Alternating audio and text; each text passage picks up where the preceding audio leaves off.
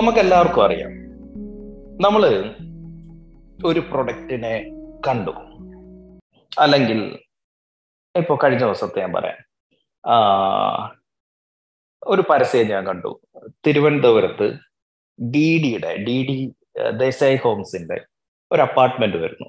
D D sports city എന്നാണ് അതിന് പേരിട്ടിരിക്കുന്നത്. അപ്പൊ അതിന്റെ അകത്ത് കുറെ സ്പോർട്സിന്റെ അമ്യൂണിറ്റീസ് ഒക്കെ ആഡ് ചെയ്തൊക്കെ അവർ അങ്ങനെ ഒരു ഒരു അപ്പാർട്ട്മെന്റ് അത് പരസ്യം കണ്ടുടനെ അതിന്റെ കാര്യങ്ങൾ കേട്ടുടനെ എനിക്ക് താല്പര്യം തോന്നി. എനിക്ക് എന്ത് കിട്ടി? എനിക്ക് അവിടെ നിന്ന് അവരിൽ നിന്ന് ഒരു ഒരു ട്രിഗർ കിട്ടി. ആ പരസ്യം കണ്ടപ്പോ ഇത് കൊള്ളാമല്ലോ എന്ന് തോന്നി. അങ്ങനെ ഞാൻ ഇതിന്റെ ബേസിക് ആയിട്ടുള്ള കുറെ ഇൻഫർമേഷൻസ് ഞാൻ എടുത്തു. ഇത് എവിടെയാ ലൊക്കേഷൻ അത് തിരുവനന്തപുരത്താണ്. തിരുവനന്തപുരത്ത് എവിടെയാണ് ഈ സൈറ്റ് അത് നോക്കി. അത് എത്ര ഏരിയ വരുന്നതാണ്?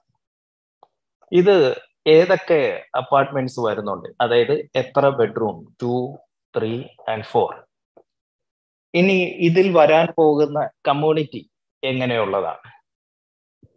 ഇതിന് എന്താണ് ഇവർ ഇമ്പോർട്ടൻസ് കൊടുക്കുന്നത്? അപ്പൊ മനസ്സിലായി സ്പോർട്സ് ആണ്. ഇങ്ങനെയുള്ള കുറെ കാര്യങ്ങൾ അവരുടെ പരസ്യത്തിൽ നിന്ന് തന്നെ കിട്ടി. പിന്നെ കുറെ കാര്യങ്ങൾ ഇവരുടെ വെബ്സൈറ്റിൽ കയറിയപ്പോഴും എനിക്ക് ഇന്നലെ കിട്ടി. എനിക്ക് കിട്ടിയതൊക്കെ എന്താ അപ്പോ?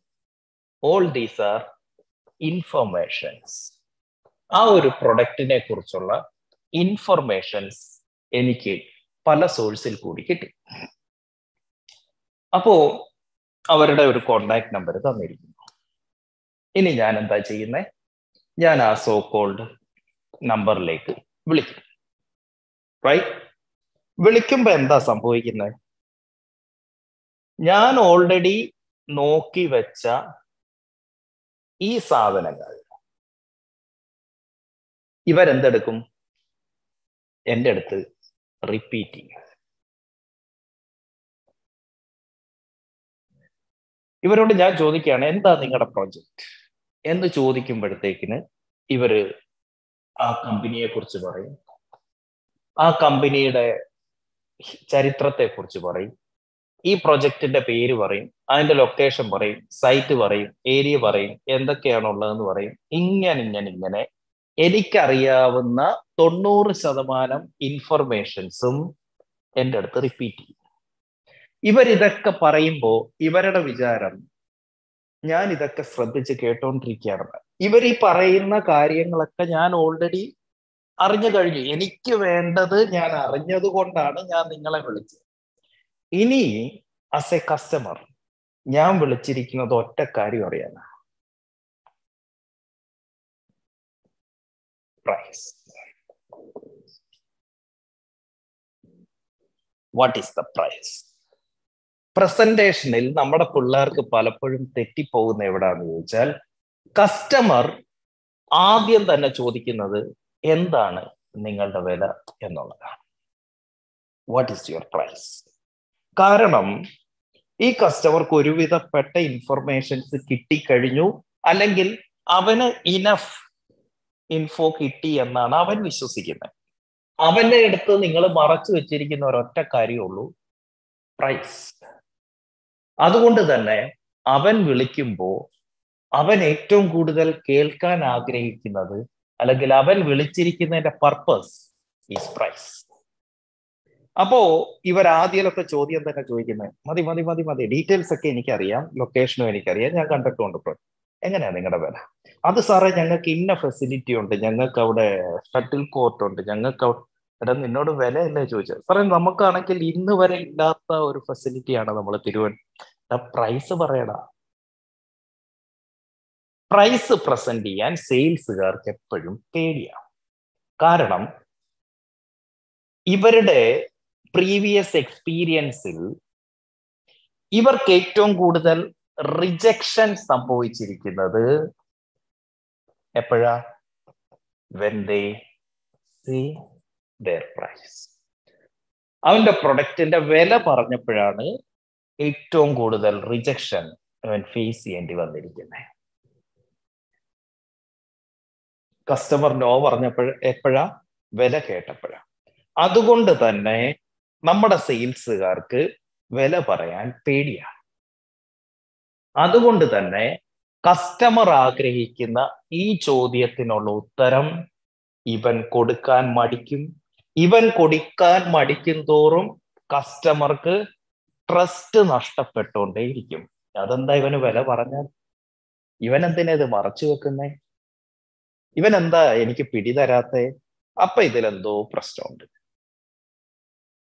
പക്ഷെ രണ്ട് മൈൻഡ് സെറ്റുകൾ തമ്മിലുള്ള ഒരു കടിപിടിയാണ് അവിടെ നടക്കുന്നത്.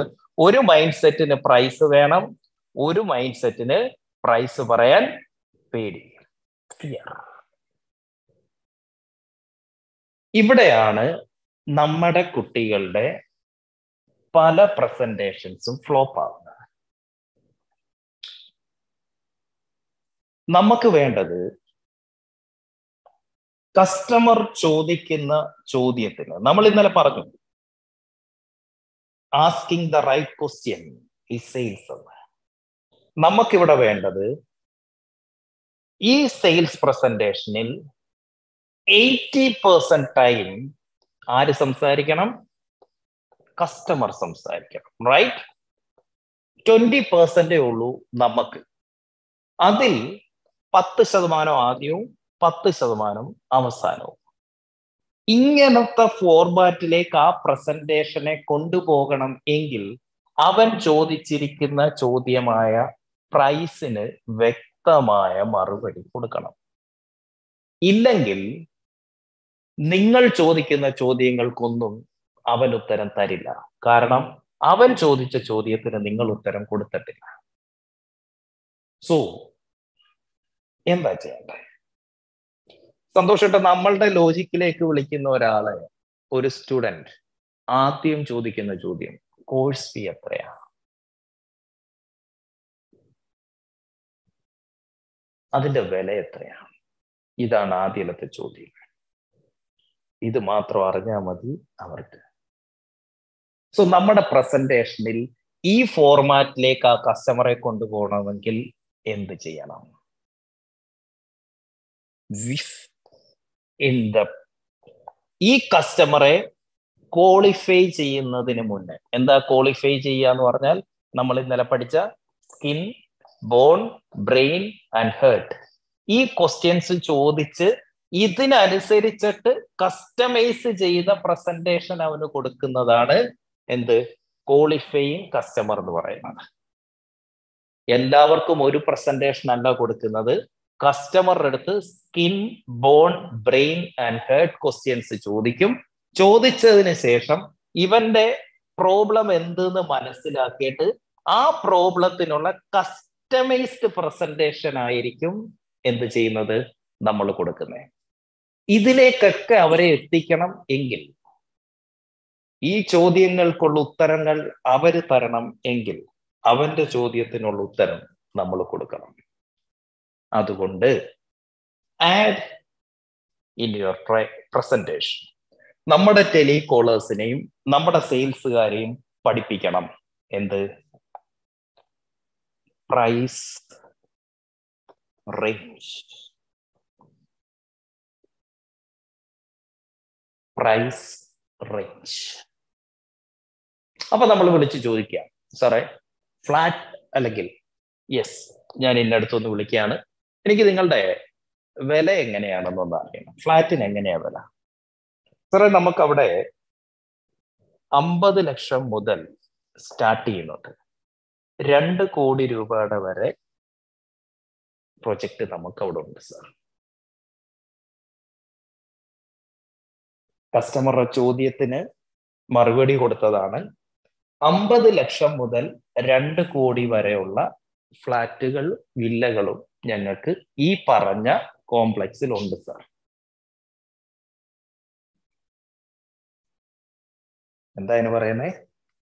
പ്രൈസ് റേഞ്ച് നിങ്ങൾ പരസ്യം കൊടുക്കുന്ന സമയത്ത് നിങ്ങൾ ഒരു ഇൻബൗണ്ട് സെയിൽ എക്സ്പെക്ട് ചെയ്യുന്ന സമയത്ത് നിങ്ങൾ ഒരു എൻക്വയറി വരും എന്ന് പ്രതീക്ഷിക്കുന്ന സമയത്ത് be prepared with your price range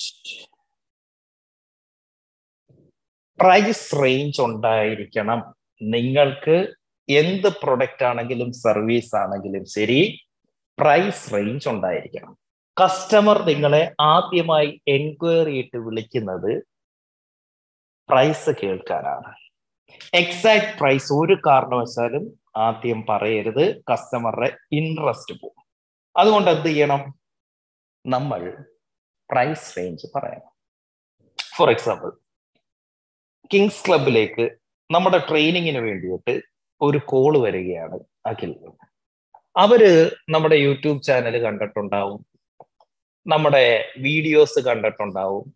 നമ്മുടെ കിങ്സ് ക്ലബിനെ കുറിച്ച് അറിയായിരിക്കും. അവർക്ക് ജനുവരി നാല് പ്രോഗ്രാമിനെ കുറിച്ച് അവർ കണ്ടു. അവർ വിളിച്ചിട്ട് ചോദിക്കുകയാണ് എന്താണ് നിങ്ങളുടെ ട്രെയിനിങ്ങിന്റെ ഫീസ് സാറേ നമുക്ക് ഫീസ് എന്ന് പറയുമ്പോൾ നമ്മൾ യൂട്യൂബിന്റെ അകത്ത് ഒരു രൂപ പോലും മേടിക്കാതെ കൊടുക്കുന്ന കോണ്ടന്റ് തൊട്ട് consulting Kings Club and staff ട്രെയിനിങ്ങും കൂടെ ചേർത്ത് അഞ്ച് ലക്ഷം രൂപയുടെ വരെ പ്രൊഡക്റ്റ് നമുക്കുണ്ട്. ഫ്രീ സൊല്യൂഷൻ തൊട്ട് അഞ്ച് ലക്ഷം രൂപയുടെ വരെ സൊല്യൂഷൻസ് ഞങ്ങൾക്കുണ്ട്. സാറിന്റെ ആവശ്യങ്ങൾ പറയാമെങ്കിൽ ഞാൻ ചോദിക്കുന്ന ചോദ്യങ്ങൾക്ക് സാർ ഉത്തരം തരാമെങ്കിൽ ഞാൻ സാറിന് സജസ്റ്റ് ചെയ്യാം ഇതിൽ ഏതാണ് സാറിന് വേണ്ടത് എന്ന്. കൺസൾട്ടിംഗ് ആണോ? സ്റ്റാഫ് ട്രെയിനിങ് ആണോ? ഏതെങ്കിലും ഒരു വീഡിയോ കണ്ടാൽ തീരുന്നതാണോ അതല്ല നമ്മളുടെ ഓൺലൈൻ കോഴ്സുകൾ എന്തെങ്കിലുമാണോ? അതല്ല പബ്ലിക് പ്രോഗ്രാം ആണോ?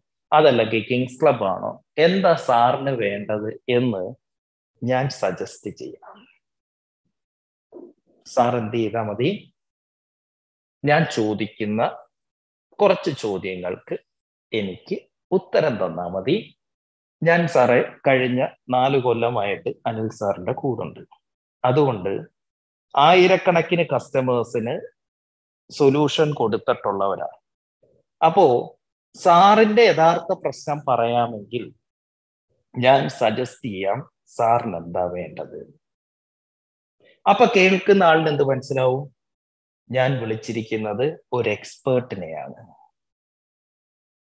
സോ എന്റെ പ്രശ്നങ്ങൾ പറഞ്ഞാൽ എന്നേക്കാൾ നല്ല രീതിയിൽ എനിക്ക് വേണ്ടത് എന്തെന്ന് സജസ്റ്റ് ചെയ്യാൻ ആർക്ക് പറ്റും? ഈ സെയിൽസുകാരന് പറ്റും.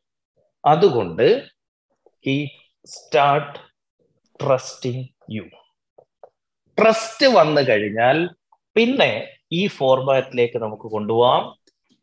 Ten eighty ten are mute മാറ്റി കളിച്ചിട്ടേ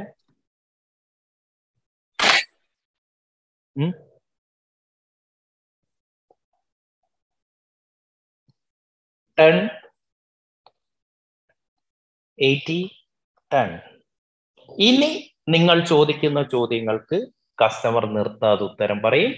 നിങ്ങൾക്ക് അവർക്ക് സൊല്യൂഷനും കൊടുക്കാൻ പറ്റും ഈ ഒരു സാധനം പറയാതെ നിങ്ങൾക്ക് മുന്നോട്ട് പോകാൻ പറ്റില്ല. And this is the solution for that price range എന്നിട്ട് എന്താ പറയുന്നത് ഈ റേഞ്ചിൽ ഏതാണ് സാറിന് വേണ്ടത് എന്ന് കൃത്യമായി ഞാൻ പറഞ്ഞു തരാം because I am an expert ഞാൻ നിത്യേന നൂറ് കണക്കിന് പേർക്ക് ഈ സെലക്ഷൻ ഇതിൽ ഏത് വേണം എന്ന സെലക്ഷൻ എടുക്കാൻ സഹായിക്കുന്ന ആളാണ്. I can help you out സാറിനെയും എനിക്ക് സഹായിക്കാൻ പറ്റും. യെസ് സോ നമ്മൾ should be prepared with a price range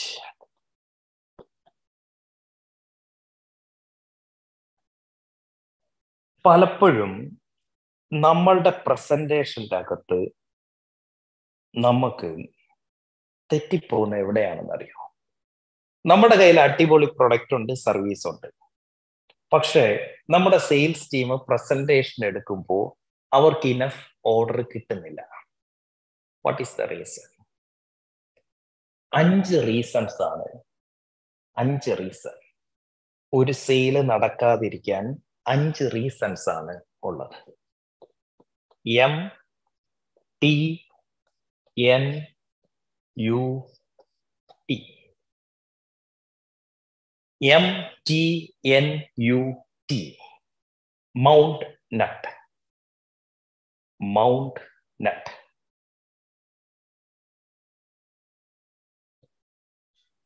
mount nut ഒരു കസ്റ്റമർ നമ്മുടെ പ്രൊഡക്റ്റ് വേണ്ട എന്ന് പറയുന്നെങ്കിൽ അഞ്ച് കാരണങ്ങളേ ഉള്ളൂ. ഈ അഞ്ചിൽ ഒന്നാവാം ഒന്നിൽ കൂടുതലാവാം.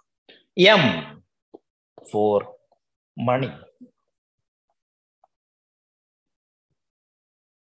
ആ സാധനം മേടിക്കാൻ അവന്റെ കയ്യിൽ എന്തില്ല? പണമില്ല. രണ്ട് പണമുണ്ട് പക്ഷേ ഈ ഡസിങ് ഹാവ് ടൈം സമയമില്ല. പണമുണ്ട് സമയമില്ല. മൂന്നാമത്തെ ആൾ പണമുണ്ട് സമയമുണ്ട് പക്ഷേ എനിക്കതിന്റെ ആവശ്യം ഉണ്ടോ നീഡ് എനിക്കതിന്റെ ആവശ്യം ഉണ്ടോ ശരിക്കും. ശരിക്കും ആവശ്യമുണ്ടോ എനിക്ക്?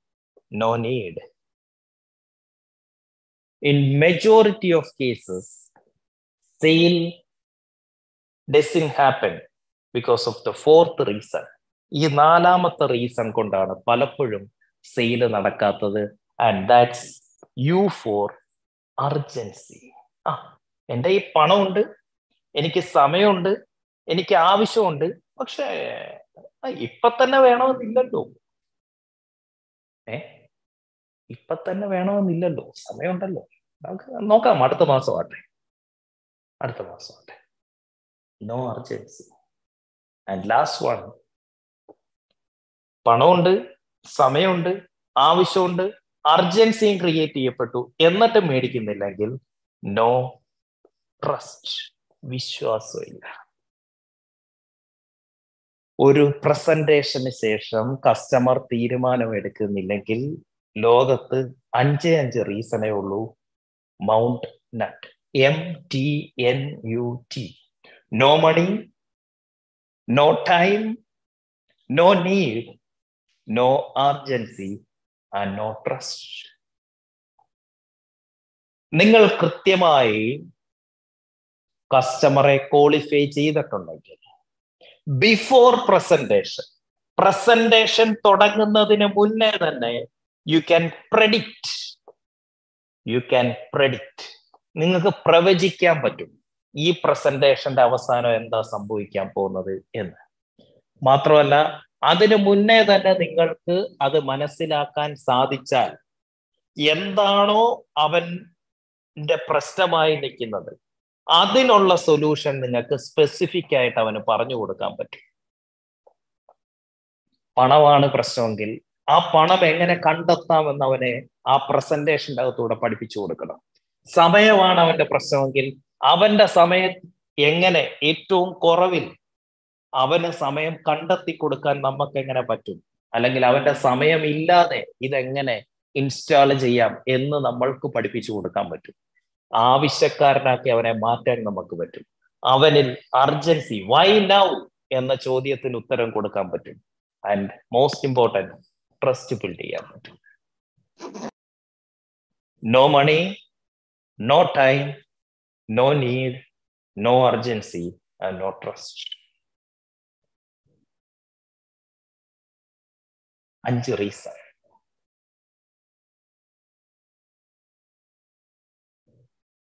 ഇവിടെ പണമില്ല എങ്കിൽ എന്ത് ചെയ്യാം?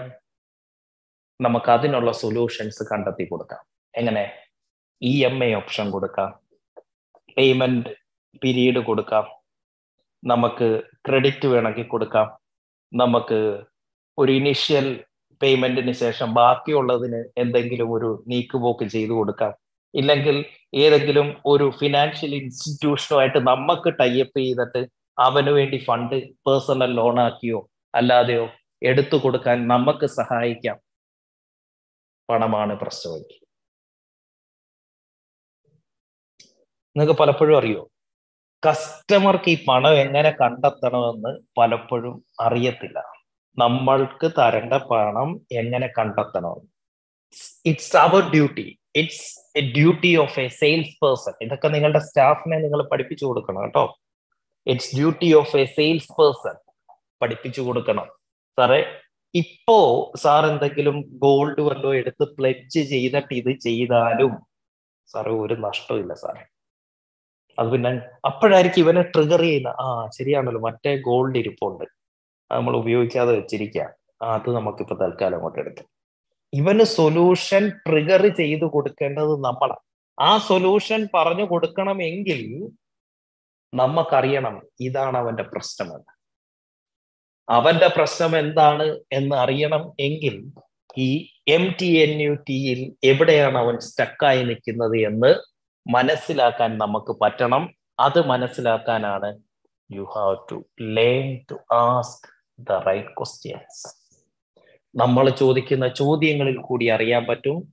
ഇതിൽ എവിടെയാണ് ഇവൻ സ്റ്റക്കായിരിക്കുന്നത് എന്ന്. ക്ലിയർ അപ്പോ പണമാണ് പ്രശ്നമെങ്കിൽ പണത്തിനുള്ള സൊല്യൂഷൻ കൊടുക്കുക. സമയമാണ് പ്രശ്നമെങ്കിൽ അവന്റെ സമയം അധികം ചെലവാകാത്ത രീതിയിൽ നമുക്ക് എങ്ങനെ ആ സമയം കണ്ടെത്തി കൊടുക്കാൻ പറ്റും? അത് നോക്കുക. നീഡാണ് അവന്റെ പ്രശ്നമെങ്കിൽ പല രീതിയിൽ ഇതിനെ എങ്ങനെ ഉപയോഗിക്കാം എന്ന് അവന്റെ ലൈഫിലുള്ള ഇമ്പാക്ട് വെച്ച് നോക്കിയിട്ട് പറഞ്ഞു കൊടുക്കാം. ഫോർ എക്സാമ്പിൾ നമുക്ക് റോൾ പ്ലേയിലേക്ക് പോവാം. കൃഷ്ണകുമാർ സാറേ നമ്മൾ രണ്ടുപേരും യൂണിബസ് വിൽക്കാൻ പോവാം. ഓക്കെ നമുക്ക് ആരെ എടുക്കണം? ഒരാളെ സെലക്ട് ചെയ്തു. ആർക്കാ പ്രസന്റേഷൻ വേണ്ടേ? ശ്രീലീല തന്നെ ആയിക്കോട്ടെ. ശ്രീലേ മ്യൂട്ട് മാറ്റി. യെസ് ഷോമർ സാറേ ശ്രീലുമായിട്ട് നമുക്ക് യാതൊരു പരിചയമില്ല കേട്ടോ. ഓക്കെ പേരെന്തായിരുന്നു? ശ്രീലിൽ ശ്രീലിൽ ഓക്കെ സ്ഥലം? തിരുവനന്തപുരം. തിരുവനന്തപുരം. ഓക്കെ സാർ എന്ത് ചെയ്യുന്നു? ബിസിനസ് ആണ്. ബിസിനസ് ആണ് okay family? Wife. Sorry sorry sorry sorry എന്ത് ബിസിനസ്സാ സാറേ? ഒരു എനിക്ക് അറിയാവുന്നത് കൊണ്ടാണ് ഞാൻ അത് ചോദിക്കാൻ ആ പറ. കഫേ ഉണ്ട് ഒരു ഐ ടി കമ്പനി ഉണ്ട്. കഫേ ഐ ടി ഓക്കെ ശരി എത്ര സ്റ്റാഫ് ഉണ്ട് സാറേ? എല്ലാം കൂടെ? പതിമൂന്ന് പേരുണ്ട്. രണ്ടിടത്തൂടെ. ഓക്കെ സാറേ എന്ത് ടേൺ ഓവർ ഉണ്ടാവും രണ്ടിടത്തൂടെ ഇയർലി ഒരു ആനുവൽ ഒരു fifty maximum fifty five zero. Five zero okay ആ ഓക്കെ സാറേ ഫാമിലി വൈഫ് മൂന്ന് മക്കൾ വൈഫ് മൂന്ന് മക്കൾ. വൈഫിന് ജോലി എന്തെങ്കിലും? ടീച്ചറാണ്. ടീച്ചറാണ്. ഓക്കെ. മക്കൾ? പഠിച്ചുകൊണ്ടിരിക്കുന്നു വയസ്സൊന്ന് പറയൂ. ഒരാൾ ഏഴാം ക്ലാസ്സിൽ പന്ത്രണ്ട് പന്ത്രണ്ട് വയസ്സ്. അടുത്ത ആൾക്ക് ഏഴ് വയസ്സ്. അടുത്ത ആൾക്ക് മൂന്ന് വയസ്സ്. ഓക്കെ. ആൺകുഞ്ഞുങ്ങളാണോ പെൺകുഞ്ഞുങ്ങളാണോ? മൂത്തത് രണ്ട് ആൺകുട്ടികളാണ് ഇളയത് മൂന്ന് ഓക്കെ സർ സർ ഇപ്പം സ്വന്തം വീട്ടിലാണോ താമസിക്കുന്നത്? അല്ല. റെന്റഡ് ആണോ? രണ്ടിടം ഓക്കെ സാറിന് ഓൺ ഹൗസ് ഉണ്ടോ? ഇല്ല. ചെയ്യണം അല്ലേ? ഓക്കെ ഓക്കെ ശരി. സാർ ഇപ്പം സാർ ഇപ്പം ഏതൊക്കെ വണ്ടിയാ ഉള്ളത് കാറുണ്ടോ സാറിന് കാറ് രണ്ട് ഒരു ആൾട്ടോ ഒരു സെലേറിയോ. Alto Celerio. ശരി. ബൈക്കോ സാറ് ബൈക്ക് ഒരു സ്പ്ലെൻഡർ ഒരു ഷൈൻ. സ്പ്ലെൻഡർ ഷൈൻ. ശരി. ഉം, സാറിന് എന്തെങ്കിലും ഡെപ്റ്റ് ഉണ്ടോ സാറേ? കുറച്ചുണ്ട് എന്ത് ഒരു റേഞ്ച് ഒന്ന് പറയുമോ സാർ? ഒരു തേർട്ടി ടു ഫിഫ്റ്റി വരും. തേർട്ടി ടു ഫിഫ്റ്റി ഓക്കെ ശരി. സാറിന് ഇമ്മീഡിയറ്റ്ലി അടുത്ത ഒരു മൂന്ന് മാസത്തിനുള്ളിൽ കൊടുത്തു തീർക്കേണ്ട എന്തെങ്കിലും ഡെപ്റ്റ് ഉണ്ടോ സർ? ഒരു ത്രീ ടു ഫൈവ് കൊടുത്തോണ്ടിരിക്കുന്നു നോക്കും. ശരി. സർ ഗോൾഡ് എന്തെങ്കിലും അസറ്റ് ആയിട്ട് മറ്റെന്തെങ്കിലും ഒക്കെ ഉണ്ടോ? സാറിന് പ്രോപ്പർട്ടിയോ പ്രോപ്പർട്ടി ഉണ്ട്. ഉണ്ട്. ശരി. സാറ് എവിടൊക്കെ ടൂർ പോയിട്ടുണ്ട് സാർ ഔട്ട് ഓഫ് ഇന്ത്യ എവിടൊക്കെ പോയിട്ടുണ്ട് sir Maldives Thailand Dubai Qatar. Dubai Qatar. Okay very good സാറിന്റെ ഡ്രീം എന്താണ് സാർ വോയിസ് ബ്രേക്ക് ആയി കേട്ടില്ല. സാറിന്റെ ഡ്രീം ആണ് ഡ്രീം ആ അതൊരു ഹാപ്പി ഫാമിലി. പിന്നെ? എന്താണ് ഫൈനാൻഷ്യലായിട്ട് ഫ്രീ ആവാം. ഫാമിലി ആയിട്ട് വേൾഡ് എക്സ്പ്ലോർ ചെയ്യാം. Family world explore. Oh very good. Very good. ശരി. സാറിന്റെ ലൈഫിലെ സാറിന്റെ ജീവിതത്തിലെ ഏറ്റവും സന്തോഷം നിറഞ്ഞ ഒരു ഒരു സാഹചര്യം എന്ന് പറയുക സാർ ലൈഫിൽ സാർ ഏറ്റവും കൂടുതൽ സന്തോഷിച്ചിട്ടുള്ള സാറിനെ മനസ്സിലാക്കിയിടത്തോളം ഒരുപാട് ഓർമ്മകളൊക്കെ ഉള്ള ആളാണ്. സാറിന് ഏറ്റവും കൂടുതൽ സന്തോഷിച്ചിട്ടുള്ള സ്ത്രീലിൽ ഏറ്റവും കൂടുതൽ ഓർക്കാൻ ആഗ്രഹിക്കുന്ന ഒരു ദിവസം ഒന്ന് പറയുന്നു ജീവിതത്തിൽ. കല്യാണം കഴിഞ്ഞ ദിവസം. എന്തായിരുന്നു? അന്നത്തെ ദിവസം എങ്ങനെയായിരുന്നു? നമ്മൾ കുറെ നാൾ പരിചയപ്പെട്ട് ഒരുപാട് വർഷങ്ങൾക്ക് ശേഷം ഭയങ്കര ത്രില്ലിംഗ് ആയ ഒരു വിവാഹം ആയതുകൊണ്ട് തന്നെ അതൊരു വലിയ അച്ചീവ്മെന്റ് ആയിരുന്നു അപ്പോൾ അതിനോട് അടുത്ത ദിവസങ്ങളും ആ ദിവസവും ഒക്കെ ഭയങ്കര ത്രില്ലിംഗ് ആണ് ഇപ്പോഴും അത് ഭയങ്കര സന്തോഷമാണ് ഓർക്കാൻ. എങ്ങനെയായിരുന്നു സാർ അന്ന് രാവിലെ ഫുള്ള് എവിടെയായിരുന്നു? എവിടെ വെച്ചായിരുന്നു കല്യാണം? പോത്തൻകോട് ഒരു ക്രസന്റ് ഓഡിറ്റോറിയം.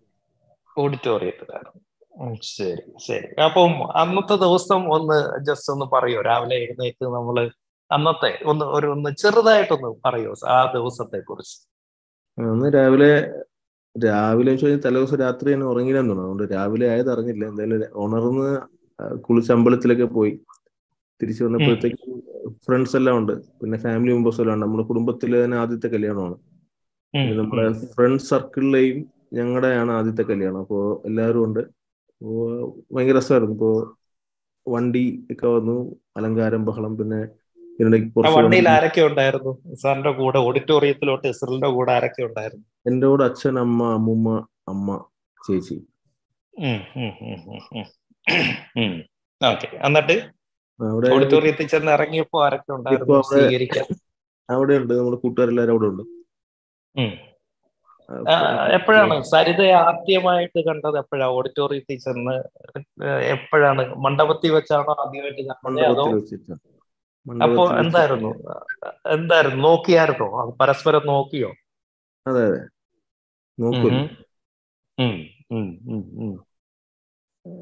നല്ല രസമായിരുന്നു. അത് ഒരു മൊത്തം മൊമെന്റ്സും ആ ബഹളവും ചിരിയും കളിയൊക്കെ ഉള്ള ഒരു.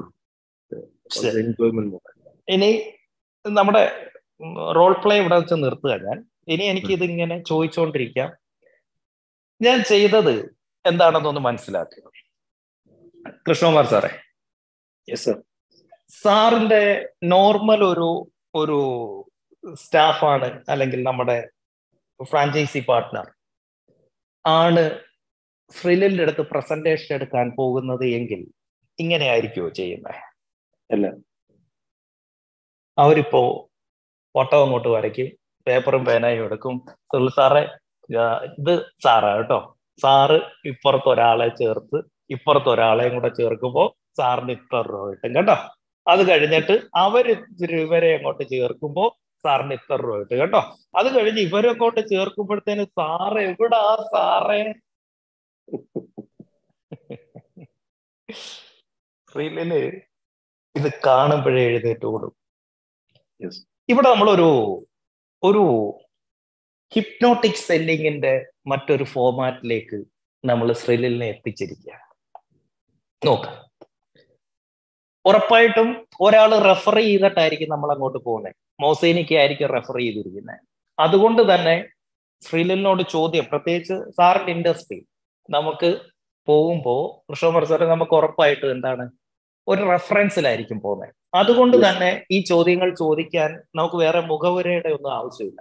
നമുക്ക് കൃത്യമായിട്ട് ചോദിക്കാം അല്ലെ? ഒരു ഒരു തർക്കവും ഇല്ല അവിടെ ചോദിക്കാൻ പറ്റും എന്നുള്ളതിൽ. അതുകൊണ്ട് തന്നെ ഞാൻ എന്ത് ചെയ്തു? സ്രിലിൽ നിന്ന് തുടങ്ങി ലൊക്കേഷൻ തുടങ്ങി. ഇതിന്റെ അകത്ത് നിങ്ങൾ നോക്കിക്കോണം. ഏതൊക്കെയാണ് സ്കിൻ ക്വസ്റ്റ്യൻസ് ഏതൊക്കെയാണ് ബോൺ ക്വസ്റ്റ്യൻ ഏതൊക്കെയാണ് ബ്രെയിൻ ക്വസ്റ്റ്യൻ ഏതൊക്കെയാണ് ഹേർട്ട് ക്വസ്റ്റ്യൻസ് ഇത് നാലും ഞാൻ ചോദിച്ചിട്ടുണ്ടോ? ഉണ്ട്. ഇക്ബാലിക്ക് ഇക്ബാലിക്കോ ഈ നാല് ചോദ്യം ഇതിന്റെ അകത്തുണ്ടോ? കൃത്യമായിട്ട് മനസ്സിലാവുന്നുണ്ടല്ലോ അല്ലെ? ഏതൊക്കെയാണെന്ന് ഞാൻ ചോദിച്ചു ഞാൻ ബേസിക് സ്കിൻ ക്വസ്റ്റ്യൻസ് ചോദിച്ചു. സ്കിൻ ക്വസ്റ്റ്യൻസിൽ നിന്നും നേരെ പോയത് എത്ര സ്റ്റാഫ് ഉണ്ട് സാറേ? ഫിഗേഴ്സിലേക്കാണ് ഞാൻ പോയത് ഫിഗേഴ്സ് ഫിഗേഴ്സ് ആയപ്പോ എന്തായി അത്? ഫിഗേഴ്സ് ചോദിക്കുമ്പോ എന്ത് ക്വസ്റ്റ്യൻ അത്? Bond. No brain logic logic questions കാരണം ഇത് മാറ്റാൻ പറ്റുമോ ഇത് റിയൽ അല്ലേ. ക്ലിയർ ആയോ?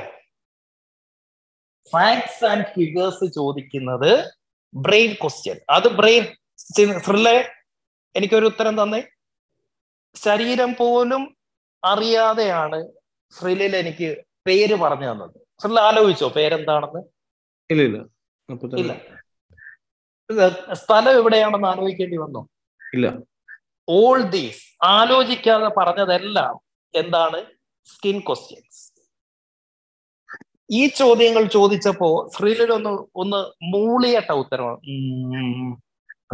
ശ്രദ്ധിച്ചായിരുന്നോ? ആലോചിച്ചു പറഞ്ഞു. എവിടെ ആലോചിക്കുന്നേ? ഇവിടെ ഇവിടെ. അത് കഴിഞ്ഞിട്ട് ഞാൻ ശ്രീലിന്റെ അടുത്ത് ചില ചോദ്യങ്ങൾ ചോദിച്ചു. സാറിന് സ്വന്തം വീടുണ്ടോ? റെന്റഡ് ആണോ? സാറിന് ഈ വീണ്ടും ഞാൻ ബ്രെയിനിലേക്ക് പോയി. സാറിന് ഇപ്പൊ ഏതൊക്കെ വണ്ടിയുണ്ട്?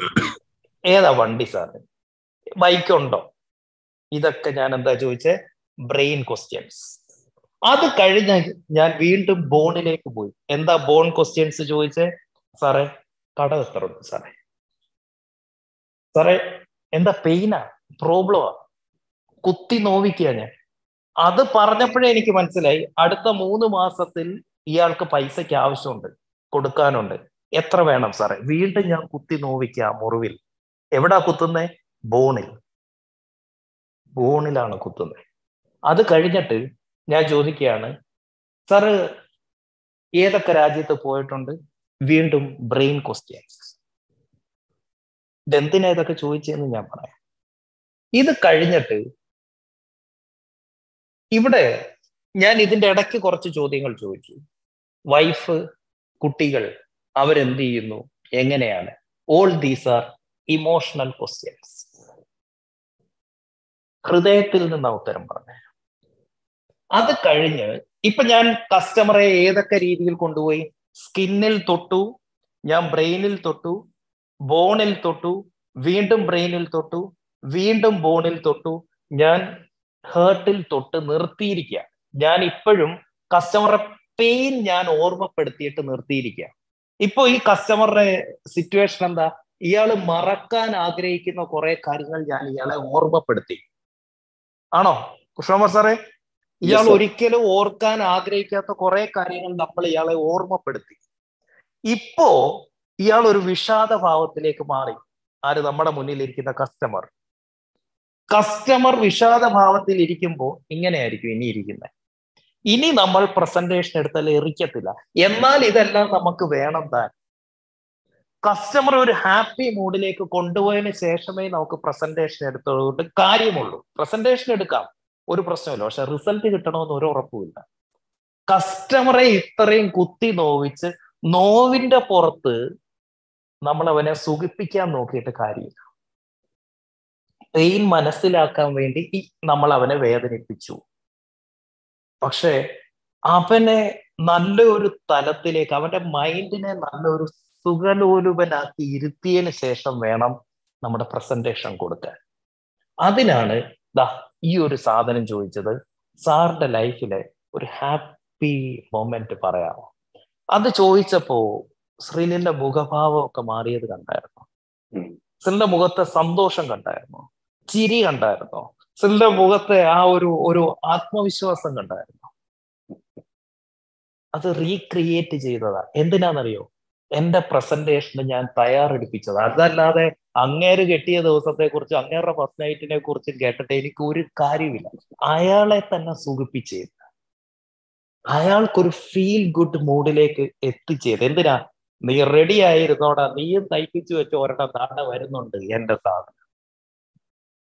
അതിനെ ശ്രീലിനെ പ്രിപ്പയർഡ് ആക്കിയതാണ് ലാസ്റ്റ് ക്വസ്റ്റ്യൻ അത് കേൾക്കാൻ എനിക്ക് ഭയങ്കര താല്പര്യമുള്ള രീതിയിലാണ് ഞാൻ ചോദിച്ചത്. എന്നിട്ട് ആ വണ്ടിക്കകത്ത് ആരൊക്കെയുണ്ട്? വണ്ടിക്കകത്ത് അമ്മ ഉണ്ടായിരുന്നു എന്ന് ശ്രീലിൽ പറഞ്ഞ നിമിഷം ശ്രീലിന്റെ ഉള്ളിൽ ഒരുപാട് നല്ല ചിന്തകൾ പോയി. കാരണം അമ്മ ഇപ്പൊ കൂടെ ഇല്ല അപ്പൊ ആ ദിവസം റീക്രിയേറ്റ് ചെയ്തപ്പോ ശ്രീലിൽ സരിതയെ കണ്ടതും സരിത ഒരുങ്ങി വരുന്നത് എപ്പോഴാ ശ്രീലൽ കണ്ടേന്ന് വരെ ഞാൻ ചോദിച്ചു. എന്തിനാ? ശ്രീലിന്റെ മനസ്സിലേക്ക് സരിത കല്യാണ മണ്ഡപത്തിലേക്ക് ഒരുങ്ങി വരുന്നത് റീക്രിയേറ്റ് ചെയ്തേ. ശ്രില്ല് അത് റീക്രിയേറ്റ് ചെയ്യുമ്പോൾ ഒരു ആനന്ദം. ഇതിനി എനിക്ക് ഇങ്ങനെ കോരിത്തരിപ്പിച്ചങ്ങ് കൊണ്ടുപോയായിരുന്നു. കട്ട് ചെയ്ത്. ചെയ്തിട്ട് ഇനി കൃഷ്ണകുമാർ സാറേ എനിക്ക് ഉത്തരം എന്താ? കൃഷ്ണകുമാർ സാറേ. യെസ് ഒരു മൂന്ന് മാസത്തിൽ ഉള്ളിൽ ശ്രീലിൽ ഒന്ന് കട്ടയ്ക്ക് കൂടെ നിൽക്കുകയാണെങ്കിൽ ശ്രീലിന് ഈ അഞ്ചു ലക്ഷം രൂപ ഉണ്ടാക്കി കൊടുക്കാൻ ഉള്ള പ്ലാൻ നമ്മുടെ യൂണിവിസിൽ ഉണ്ടോ സാറേ ഉണ്ട് സാറേ എനിക്കറിയത്തില്ല നിങ്ങളുടെ പ്ലാൻ കേട്ടോ? ഞാൻ ചോദിക്കുന്നതിന് ഉത്തരം പറ. ഉണ്ടോ? ഉണ്ട് സാറേ ഉണ്ട് ഉണ്ട് ശ്രീലിന്റെ കയ്യിൽ ഇപ്പോൾ ഉള്ളത് ആൾട്ടോയും സെലേറിയയുമാണ്. കുറച്ചുകൂടെ ലക്ഷറി ആയിട്ടുള്ള ഒരു വണ്ടി എടുക്കാനുള്ള പ്ലാൻ നിങ്ങൾക്കുണ്ടോ സാറേ ഉണ്ട് സാറേ നമുക്കൊരു ടൂ വീലർ നല്ലൊരു എൻഫീൽഡ് ഭയങ്കര ആഗ്രഹമുള്ള ഇതൊക്കെ ഞാൻ കുറച്ചുകൂടെ ചോദ്യങ്ങളുണ്ട് കേട്ടോ. ഇഷ്ടപ്പെട്ട വണ്ടി ഏതാ? ഇഷ്ടമുള്ള ഇത് ഏതാ? എന്നൊക്കെ ഞാൻ ഇവിടെ ചോദിക്കാനുള്ള കുറച്ച് ഇമോഷണൽ ക്വസ്റ്റ്യൻസ് ഇവിടെ പെൻഡിങ് കിടപ്പുണ്ട്. ഞാൻ ഇവിടെ സമയമില്ലാത്തത് കൊണ്ടാണ് ഞാൻ അതിലേക്ക് പോവാത്തത് ആ സ്വപ്നം പറയുന്ന എൻഫീൽഡ് എടുത്തു കൊടുക്കാൻ നമ്മുടെ അതിൽ പ്ലാൻ ഉണ്ടോ സാറേ? യെസ് സർ വാടകയ്ക്ക് താമസിക്കുന്ന ഒരാൾക്ക് ലാൻഡ് എടുത്ത് സ്വന്തം വീട് വെച്ച് മാറാൻ പറ്റുന്ന ഒരു ഓഫർ പ്ലാൻ നമുക്കുണ്ടോ സാറേ? ഹൺഡ്രഡ് പെർസെന്റ് ഫാമിലി ആയിട്ട് വേൾഡ് ടൂർ പോകാൻ പറ്റുന്ന രീതിയിലുള്ള ഈ പറഞ്ഞ തൈലാൻഡും മാലദ്വീപ്സും ദുബൈയും ഖത്തറും അല്ലാതെ ശ്രീലിൽ നിന്ന് ഒറ്റയ്ക്കും ഫാമിലിയെ കൊണ്ട് ലോകം മുഴുവൻ പോകാനുള്ള പ്ലാൻ നമുക്കുണ്ടോ സാറേ? യെസ് സർ നാല് മൂന്ന് കുഞ്ഞുങ്ങൾ. അതിൽ മൂന്ന് വയസ്സുള്ള മോൾക്ക് വേണ്ടിയിട്ട് അവളുടെ കല്യാണ പ്രായമാകുമ്പോഴത്തേക്കിന് സേവിങ്സ് ആക്കി മാറ്റാനുള്ള ഓപ്ഷൻസ് നമ്മുടെ പ്ലാനിലുണ്ടോ സാറേ? വെരി മച്ച് ഒരു വീട് വാടകയ്ക്ക് താമസിക്കുന്ന ഒരാൾക്ക് ഒരു വസ്തു മേടിച്ച് വീട് വെക്കാനുള്ള ഓപ്ഷൻ ഉണ്ടല്ലോ അല്ലേ? യെസ് വൈഫ് ടീച്ചറാണ് ടീച്ചറിനും കൂടെ ഈ ബിസിനസ്സിൽ ശ്രീലിനെ സഹായിക്കാൻ പറ്റുന്ന പ്ലാൻ ആണല്ലോ നമ്മുടെ അല്ലേ? യെസ് സർ സാറേ ഇനിയും എനിക്കിത് കണക്ട് ചെയ്ത് കണക്ട് ചെയ്ത് ഒരുപാട് കാര്യങ്ങൾ ചോദിക്കാനുണ്ട്. എന്തൊക്കെയാണോ ഇപ്പൊ സാർ യെസ് പറഞ്ഞത്? ഈ ഫീച്ചേഴ്സ് മാത്രം അറിഞ്ഞാൽ മതി ഫ്രിലിന് യൂണിവിസിനെ കുറിച്ച്. എനിക്ക് എന്റെ മൂന്ന് ലക്ഷം രൂപ അടുത്ത മൂന്ന് മാസത്തേക്ക് കിട്ടുമോ? എനിക്ക് എന്റെ ഈ വണ്ടി എടുക്കാൻ പറ്റുമോ? എനിക്ക് ഈ ബൈക്ക് മേടിക്കാൻ പറ്റുമോ? എനിക്ക് ഈ റെന്റഡ് വീട്ടിൽ നിന്ന് താമസം മാറാൻ പറ്റുമോ എന്റെ മോടെ കല്യാണ പ്രായമാകുമ്പോഴത്തേന് അവക്ക് വേണ്ടി എനിക്കിത് മാറ്റി വെക്കാൻ പറ്റുമോ എനിക്ക് ലോക യാത്ര എനിക്കും എന്റെ ഫാമിലിക്കും പോകാൻ പറ്റുമോ എനിക്കൊരു ഹാപ്പി ഫാമിലി ബിൽഡ് ചെയ്യാൻ പറ്റുമോ എനിക്ക് സ്വസ്ഥമായിട്ടുള്ള ഒരു ഫിനാൻഷ്യൽ സ്റ്റേജിലേക്ക് മാറാൻ പറ്റുമോ ഇത് ഇത്രയുമാണ് ശ്രീലിന്റെ ചോദ്യങ്ങൾ. ഈ ചോദ്യങ്ങൾക്കുള്ള ഉത്തരം മാത്രം സാറെ സാറ് കൊടുത്താൽ മതി. അതല്ലാതെ നമ്മൾ മുമ്പേ വരച്ച ഈ വട്ടം സാറ് വരയ്ക്കരുത്. ഇത് വരച്ചോണ്ട് വല്ല കാര്യമുണ്ടോ? ഇതിന് പകരം നമ്മൾ ശ്രീലിനോട് പറയാണ് ഹിയർ കംസ് ദ സൊല്യൂഷൻ ശ്രീലെ ഇന്നത്. ഇമ്മീഡിയറ്റ് ആയിട്ട് വേണ്ടത് നമ്മുടെ ആ മൂന്ന് മാസത്തേക്കുള്ള ഫണ്ടാണ്. അതിന് ദാണ്ട് ഇതാണ് ഇപ്പൊ ശ്രീല ചെയ്യേണ്ടത്. അത് കഴിഞ്ഞ് നമുക്ക് എന്താ വേണ്ടേ? നമുക്കൊരു നല്ല വണ്ടി എടുക്കണം. അതിന് ദാണ്ട് ഇതാ ചെയ്യേണ്ടത്. അത് കഴിഞ്ഞിട്ട് നമുക്കൊരു വേൾഡ് ട്രിപ്പ് നമുക്ക് ഓണത്തിന് ഫാമിലി ആയിട്ട് പോകണം അതിന് ശ്രീല ഇത് ചെയ്യണം. അത് കഴിഞ്ഞ് നമുക്ക് ഒരു ലാൻഡ് മേടിക്കണം. അതിന് ഇത് ചെയ്യണം. അത് കഴിഞ്ഞ് നമുക്കൊരു വീട് വെക്കണം. അതിന് ഇത് ചെയ്യണം. സാറേ ഇതാണോ ശ്രീലിനെ ത്രില്ലടിപ്പിക്കുന്നത് ഇതാണോ? രണ്ടാമത് പറഞ്ഞത്. Yes this is the power of asking questions ഇത് ക്വസ്റ്റ്യൻസ് ചോദിക്കാതെ എടുക്കുന്ന പ്രസന്റേഷനും ഇത് ക്വസ്റ്റ്യൻസ് ചോദിച്ചതിന് ശേഷം എടുക്കുന്ന presentation which one is powerful second one perfect എന്നിട്ട് അതാണോ ചെയ്യുന്നത് എല്ലാവരും? യെസ് സർ നിങ്ങൾ ഒരു സാധനം ഉണ്ടാക്കി വെച്ചിട്ട് നിങ്ങളെ വിളിക്കുന്നവരുടെ വാ ഇങ്ങോട്ട് വലിച്ചു കീറിയിട്ട് അതിന്റെ അകത്തോട്ട് വെച്ച് അവനെ കൊണ്ട് പിരിപ്പിക്കാൻ ശ്രമിക്കുക നിങ്ങൾ. അവൻ തനിയെ എടുത്ത് കഴിച്ചോളും. അവന് വേണ്ട രീതിയിൽ അതുണ്ടാക്കി അങ്ങോട്ട് കൊടുത്താൽ മതി. സാധനം സെയിം ആയിരിക്കും. ഒരു വ്യത്യാസമില്ല സാറ് പറയുന്ന പ്ലാൻ ഇതേ പ്ലാൻ തന്നെ നാഗലക്ഷ്മി മാമിനോട് പറയുമ്പോൾ ഈ പറയുന്നത് എന്റയർലി മാറും. അതിനാണ് കസ്റ്റമൈസ്ഡ് പ്രസന്റേഷൻ എന്ന് പറയുന്നത്. ഇതേ പ്ലാൻ സാദിക്കിനോട് പറയുമ്പോൾ എന്റയർലി മാറും. കാരണം ശ്രീലിന്റെ ജീവിത സാഹചര്യവും ആവശ്യങ്ങളോ അല്ല സാധിക്കിനുള്ള ഇതല്ല മനുവിനുള്ള. ഇതല്ല അൻവറിനുള്ള. നിങ്ങൾക്കൊക്കെ സെയിൽ നടക്കാത്തതിന്റെ റീസൺ ഇവരൊക്കെ ഒരു പ്രസന്റേഷൻ കാണാതെ പഠിച്ചു വെച്ചിരിക്കുന്നു. അത് പോയി പ്രസന്റ് ചെയ്യുന്നു.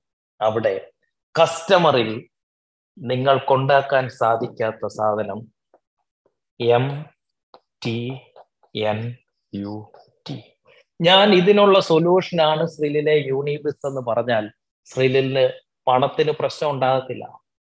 കാരണം ശ്രീലത് കണ്ടെത്തും. സമയം പ്രശ്നം വരത്തില്ല. ആവശ്യം ഒരുപാടായി. അർജൻസിയായി ട്രസ്റ്റിന് എന്ത് ചെയ്യാം? ദാണ്ടല്ലേ ഇതേ അവസ്ഥയിൽ വന്ന ആളാണ് ഞാൻ കൃഷ്ണകുമാർ. ഇന്ന് ഞാൻ വന്നിരിക്കുന്നത് എന്റെ ബെൻസിലാണ്.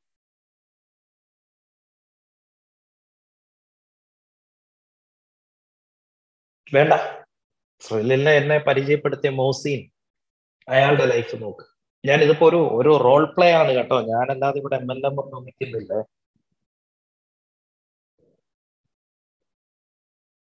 എങ്ങനെയാണ് സെല്ല് ചെയ്യേണ്ടത് എന്ന് കാണിച്ചു നൽകിയത് ഇങ്ങനെയാണോ ഇപ്പൊ ചെയ്യുന്നത്? That's my question this is how you have to take presentation. പലപ്പോഴും ഞാൻ ഇതിൽ മനസ്സിലാക്കിയത് നിങ്ങളുടെ പ്രശ്നം ട്രസ്റ്റ് അല്ല നീഡല്ല ടൈം അല്ല മണിയല്ല കസ്റ്റമറിൽ അർജൻസി ക്രിയേറ്റ് ചെയ്യാൻ നിങ്ങൾക്ക് സാധിക്കാറില്ല. അർജൻസി അർജൻസി ക്രിയേറ്റ് ചെയ്യാൻ പഠിക്കണം. അർജൻസി ക്രിയേറ്റ് ചെയ്യാനുള്ള ഏറ്റവും മികച്ച മാർഗമാണ് പ്രൈസിങ് സ്ട്രാറ്റജി ഞാനിപ്പോ എടുത്ത റോൾ പ്ലേ ഇന്നലത്തെ ടോപ്പിക്കുമായി ബന്ധപ്പെട്ടുള്ളതാണ് കേട്ടോ. നമ്മുടെ നാല് തരം ക്വസ്റ്റ്യൻസ് എന്തൊക്കെയാണെന്നും ആ ക്വസ്റ്റ്യൻസിന്റെ ആൻസർ അനുസരിച്ച് എങ്ങനെ കസ്റ്റമൈസ് ചെയ്യണമെന്ന് നിങ്ങളെ ഒന്ന് പഠിപ്പിക്കാൻ വേണ്ടി മാത്രം ഒരു റോൾ പ്ലേ കൃഷ്ണകുമാർ സാറിനെ വെച്ച് ചെയ്തത് കേട്ടോ.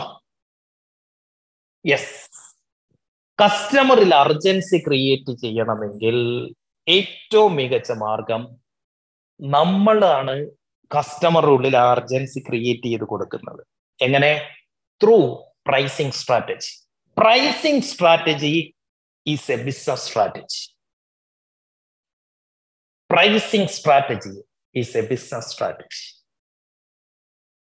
pricing ചെയ്യാനുള്ള ആ കളി മനസ്സിലാക്കി കഴിഞ്ഞാൽ നിങ്ങൾക്ക് സെയിൽ പടപടപടയെന്ന് പട പടയെന്ന് നടന്നുകൊണ്ടിരിക്കും. കാരണം പ്രൈസിങ്ങിലാണ് കളി.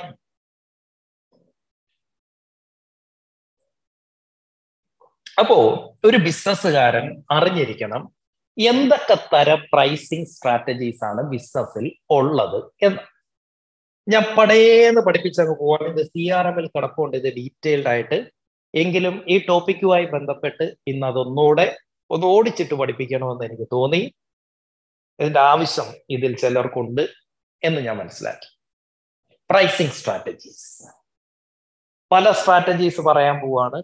ഇതിൽ ഒന്നോ അതിലധികം സ്ട്രാറ്റജീസോ നിങ്ങൾക്ക് പലപ്പോഴായിട്ട് എടുത്തെടുത്തെടുത്ത് ഉപയോഗിക്കാൻ പറ്റും. പല പ്രൊഡക്റ്റിന് പല രീതിയിൽ പല സിറ്റുവേഷനിൽ പല രീതിയിൽ ഈ പ്രൈസിങ് സ്ട്രാറ്റജി ഉപയോഗിക്കാൻ പറ്റും. Strategy number one location based pricing location based pricing. Location based pricing.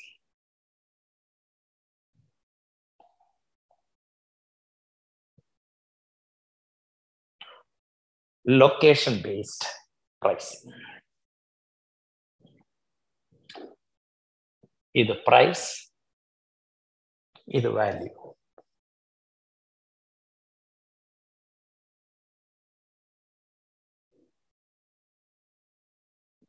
നാലായിട്ട് നമുക്ക് ഈ ലൊക്കേഷൻ ബേസ്ഡ് പ്രൈസിങ്ങിനെ മാറ്റാം. ഒന്ന് high price high price but low value high priced ആയിരിക്കും പക്ഷെ ക്വാളിറ്റി കുറവായിരിക്കും. വാല്യൂ എന്ന് പറയുമ്പോൾ ക്വാളിറ്റി ലൊക്കേഷൻ ബേസ്ഡ് പ്രൈസിങ്ങിൽ നാലായിട്ട് നമുക്ക് അതിനെ തിരിക്കാം. ഒന്ന് ഹൈ പ്രൈസ് ലോ ക്വാളിറ്റി എന്ന് പറയാം നമുക്ക്? ഒരു എക്സാമ്പിൾ നമ്മളിപ്പോ തിരുവനന്തപുരത്ത് നിന്ന് ജനശതാബ്ദി ട്രെയിനിൽ കയറി നാഗലക്ഷ്മി മാം കോഴിക്കോട്ടേക്ക് പോയിക്കൊണ്ടിരിക്കുക കയറിയപ്പോൾ ഫുഡ് കഴിച്ചിട്ട് കയറാൻ പറ്റിയില്ല. മീറ്റിംഗ് കഴിഞ്ഞ് എൽ ഐ സിയുടെ മീറ്റിംഗ് കഴിഞ്ഞ് ഓടി വന്ന് കയറിയത് ഒന്നും കഴിക്കാൻ പറ്റിയില്ല. കൊണ്ടുവരും. ചായ വട. ബിരിയാണി. അപ്പൊ ഒരു ബിരിയാണി മേടിക്കും. ഒടുക്കത്തെ വില. വായി വെക്കാൻ കൊള്ളാവോ? ഇല്ല. പക്ഷെ മേടിച്ചേ പറ്റൂ. ലൊക്കേഷൻ ട്രെയിന്റെ അകത്തായി പോയി പത്ത് രൂപയ്ക്ക് അപ്പുറത്തെ ചായക്കടയിൽ കിട്ടുന്ന ചായ. അതിന്റെ ഏഴ് അയിലത്ത് വെക്കാൻ പറ്റാത്ത ചായ. നമ്മൾ എയർപോർട്ടിന്റെ അകത്ത് കയറിയിട്ട് ഇരുന്നൂറ് രൂപയ്ക്ക് മേടിച്ചു കുടിക്കും. High price low value location based pricing ബാലിക്ക കുടിച്ചിട്ടുണ്ടല്ലോ പറയല്ലേ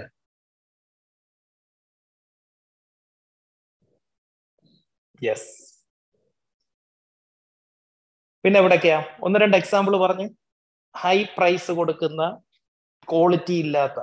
നമ്മളിപ്പം കോയമ്പത്തൂര് സേലം ഹൈവേ കൂടെ പോയിക്കൊണ്ടിരിക്കുന്ന. അല്ലെങ്കിൽ നമ്മളുടെ മുംബൈ ഗോവ റൂട്ടിൽ പോയിക്കൊണ്ടിരിക്കുന്നു. ഹൈവേ സൈഡ് കടകളൊന്നുമില്ല. പ്രത്യേകിച്ച് നോർത്ത് ഇന്ത്യയിലോട്ടൊക്കെ ചെല്ലുമ്പോൾ നല്ല കടയൊന്നുമില്ല. കാണുന്ന കടയിൽ കയറും. വില കൂടുതലും ഒരു രക്ഷയില്ല. കൊള്ളത്തുമില്ല വേറെ എന്തെങ്കിലുമൊക്കെ എക്സാമ്പിൾ ഉണ്ടെങ്കിൽ പറഞ്ഞ് പെട്ടെന്ന് പറഞ്ഞു. എയർപോർട്ടിലെ ഫുഡ് അത് പറഞ്ഞു. എയർപോർട്ടിലെ ചായ എന്ന് പറഞ്ഞാൽ എയർപോർട്ടിലെ ഫുഡാണ് ശബരിമല. ആ ശബരിമല. വെരി ഗുഡ് ഉടനെ അങ്ങോട്ട് പോയെന്ന് തോന്നുന്നു.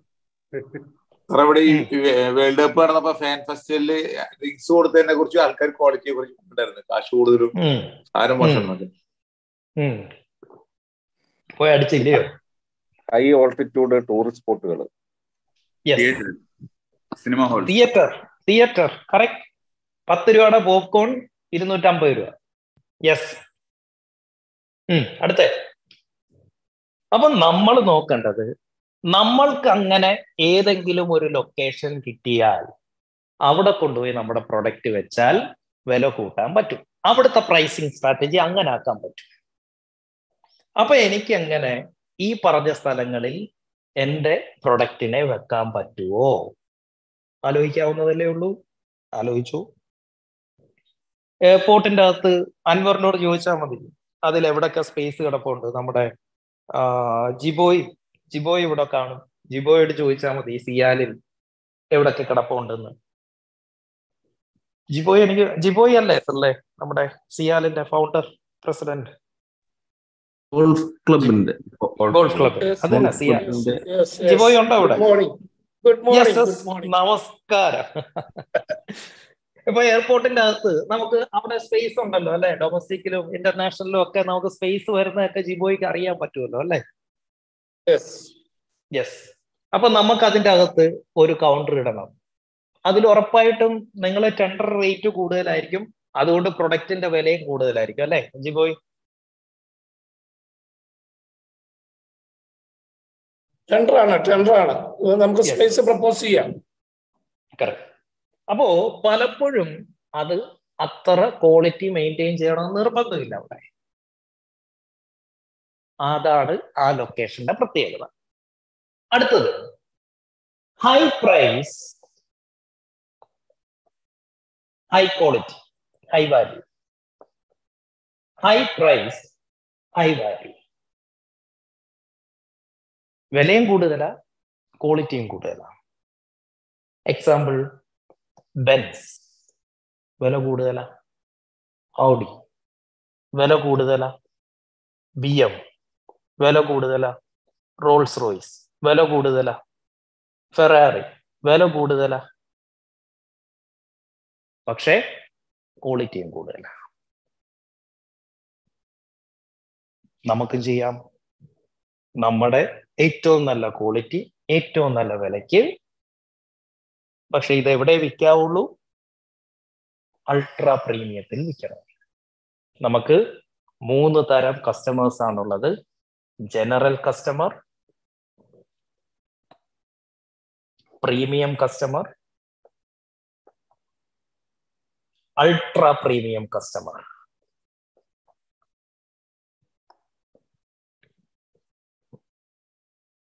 നമ്മുടെ ടോട്ടൽ മാർക്കറ്റ് എടുത്തു കഴിഞ്ഞാൽ നമുക്ക് മൂന്ന് തരം കസ്റ്റമേഴ്സ് ഉണ്ട്.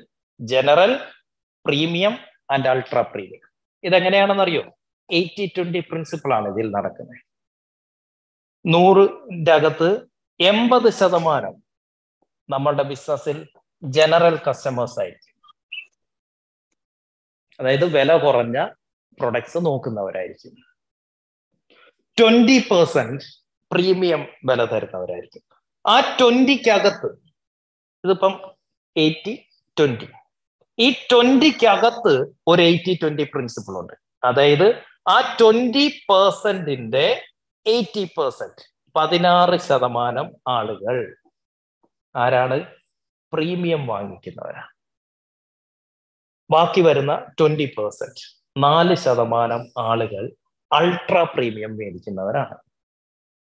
ഒന്നുകൂടെ നമ്മുടെ മാർക്കറ്റിൽ നമ്മുടെ പ്രൊഡക്റ്റ് വാങ്ങിക്കുന്നതിൽ എൺപത് ശതമാനം ജനറൽ കസ്റ്റമർ ബാക്കി വരുന്ന ഇരുപതിന്റെ അകത്തെ eighty twenty sixteen percent premium customer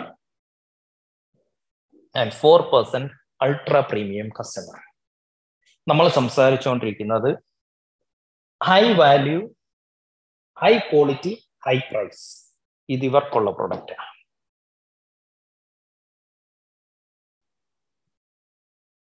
അപ്പോ നമ്മൾ ചിന്തിക്കണം എങ്ങനെ എനിക്ക് ഇവർക്കൊരു സാധനം കൊടുക്കാൻ പറ്റും. കാരണം ഇവിടെ കിടക്കുന്ന ആൾട്ടോയ്ക്കും ഇവിടെ കിടക്കുന്ന ഹോണ്ടയ്ക്കും ഇവിടെ കിടക്കുന്ന ഹുണ്ടയ്ക്കും ഇവരെല്ലാം സാധനം ഉണ്ടാക്കുന്നത് ഈ എൺപത് ശതമാനത്തിന് വേണ്ടിയാ.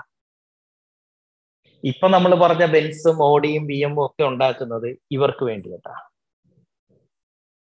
റൈറ്റ് ഏത് കമ്പനിയാ ലാഭത്തിൽ? ഇവരാണോ? ഇവരാണോ? സ്വാഭാവികമായിട്ട് ഇവരാണ്. കാരണം ഇവർക്ക് കുറച്ച് കസ്റ്റമേഴ്സേ ഉള്ളൂ. കുറച്ച് നമ്പേഴ്സ് ഉണ്ടാക്കിയാൽ മതി. പക്ഷെ അതിൽ കൂടുതൽ ലാഭമുണ്ട്. പക്ഷെ ഇവർക്ക് അങ്ങനെയല്ല. കൂടുതൽ നമ്പേഴ്സ് ഉണ്ടാക്കണം. കൂടുതൽ നമ്പേഴ്സ് വിൽക്കണം. കൂടുതൽ ആളുകളെ മാനേജ് ചെയ്യണം. കൂടുതൽ എഫേർട്ട് എടുക്കണം. അതുകൊണ്ട് തന്നെ പ്രോഫിറ്റ് കുറവാണ്. എന്നാൽ ഇവിടെ വില കൂട്ടാൻ പറ്റുമോ? അതുമില്ല.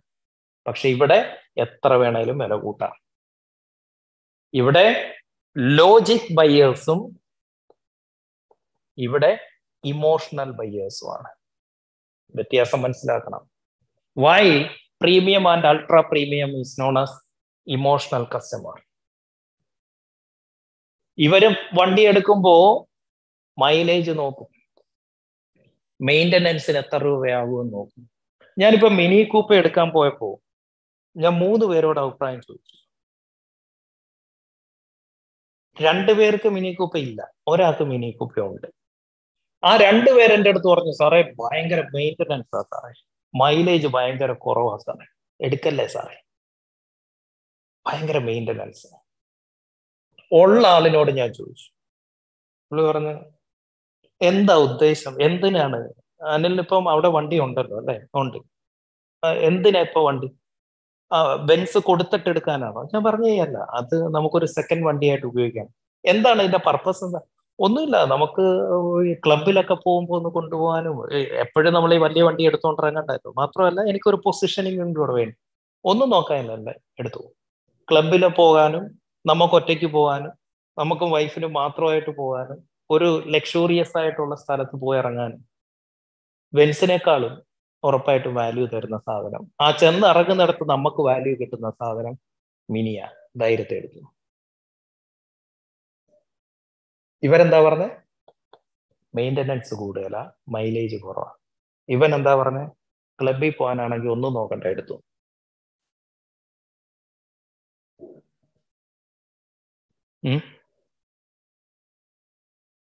Difference right? Yes. So, ഇത് മനസ്സിലായല്ലോ? എയ്റ്റീൻ സിക്സ്റ്റീൻ ഫോർ അപ്പൊ നമ്മൾ എന്ത് നോക്കും? എങ്ങനെയാണ് ആ ട്വന്റി പെർസെന്റിന് വേണ്ടി എനിക്കൊരു പ്രൊഡക്റ്റ് ഇറക്കാൻ പറ്റുന്നത് നോക്ക്. എന്നിട്ട് അതിനൊരു പ്രൈസ് ഇട്. അതിന് ഹൈ ക്വാളിറ്റി സാധനം കൊടുക്ക്. Extra premium value added service കൊടുക്ക്. വില കൂട്ട്. ലാഭം കൂടുതൽ മേടിച്ചോ. ഒരു കുഴപ്പമില്ല പക്ഷേ നല്ല സർവീസ് കൊടുക്കണം. എങ്കിൽ you can position your price here അടുത്തത്. Low price high value low price and high value വില കുറവും ക്വാളിറ്റി കൂടുതൽ. വില കുറവും ക്വാളിറ്റി കൂടുതൽ. ഏതാ? മാരുതി. വില കുറവാണ്. ക്വാളിറ്റി ഉണ്ട്. വില കുറവാണ്. ക്വാളിറ്റി ഉണ്ട്. വേറെ ഏതൊക്കെയാന്ന് പറഞ്ഞേ? വേറെ ഏതൊക്കെയാ? പറഞ്ഞേ. വില കുറവ് ക്വാളിറ്റി കൂടുതൽ. എന്തോ സർക്കാർ സ്കൂളിലെ ചില എല്ലാവരും ഇല്ല.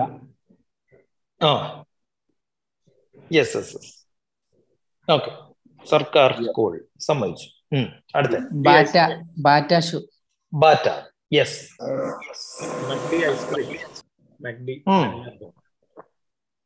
Correct മക്ഡിയുടെ soft Kia Motors Kia.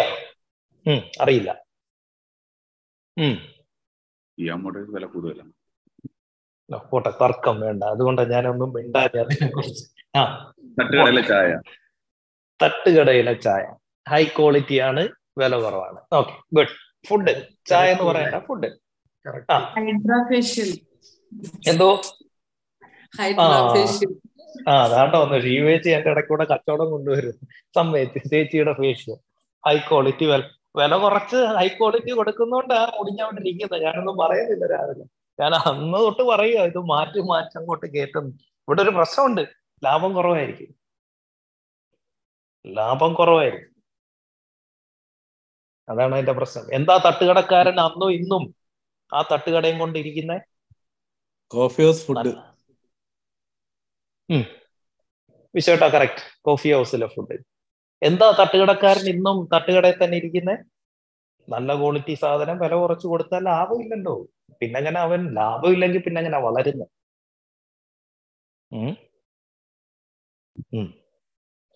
അപ്പൊ അതൊരു പ്രൈസിങ് സ്ട്രാറ്റജിയാ നല്ല സാധനം വില കുറച്ച് കൊടുക്കുന്നത് നാലാമത്തത്. ലോ പ്രൈസ് ലോ ക്വാളിറ്റി എവിടെയാ? ഡേ ടു ഡേ ഏതെടുത്താലും തൊണ്ണൂറ്റൊമ്പത് ഏതെടുത്താലും അറുപത്തൊമ്പത്. ചൈനീസ് മാർക്കറ്റ് നമുക്ക് തന്നെ അറിയാം ഇത് വീട്ടിൽ എത്തുമ്പോൾ വർക്ക് ചെയ്യത്തില്ലെന്ന് അന്നേരം നമ്മൾ നോക്കാം എത്ര രൂപയല്ലേ ഉള്ളു. പോട്ടെ. പിള്ളേരെയും കൊണ്ട് ബീച്ചിൽ പോകുമ്പോൾ ഈ കളിപ്പാട്ടമായിട്ട് വരും. നമുക്ക് തന്നെ അറിയാം ഇത് ആ വണ്ടി കയറുന്നിടം വരെ ഉള്ളൂ എന്ന്. എന്നാലും നമ്മൾ മേടിച്ചോളും. കാരണം എന്താ? ലോ പ്രൈസ് ലോ ക്വാളിറ്റി വേറെ എന്തെങ്കിലും എക്സാമ്പിൾ ഉണ്ടോ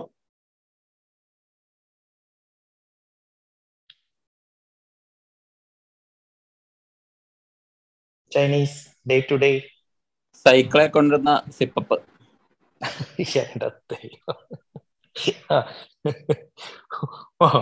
മൊട്ടൈസ് മൊട്ടൈസ് പോരട്ടെ അടുത്ത. വഴിയോര പാനിപ്പൂരി. പാനിപ്പൂരി. ലോ പ്രൈസ് ആണ് ലോ ക്വാളിറ്റി ആണ്. ആ വീഡിയോ കണ്ടായിരുന്നു അല്ലേ?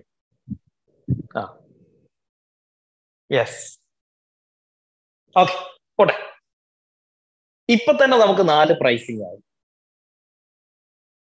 High price low value high price high value low price high value low price low value.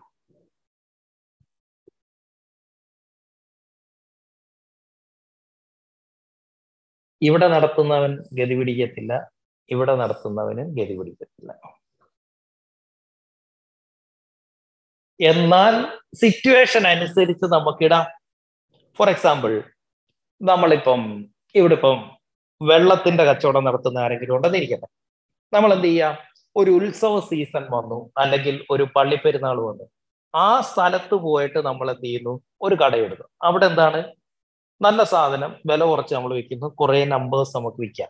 ഇതൊരു പ്രൈസിങ് സ്ട്രാറ്റജിയാണ് ഒരു പ്രൈസിങ് സ്ട്രാറ്റജി സ്ഥിരം പ്രൈസിങ് അല്ല. ആ സമയത്ത് അർജൻസി ക്രിയേറ്റ് ചെയ്യാൻ പറ്റുന്ന ഒരു സ്ട്രാറ്റജി ആയിട്ട് നമുക്ക് എന്തിനെ മാറ്റാം? പ്രൈസിങ്ങിനെ കൊണ്ടുവരണം. അപ്പൊ നമ്മൾ ചിന്തിക്കേണ്ടത് എങ്ങനെയൊക്കെ എനിക്ക് ഇതെല്ലാം എടുക്കാൻ പറ്റും എന്നുള്ളതാണ്.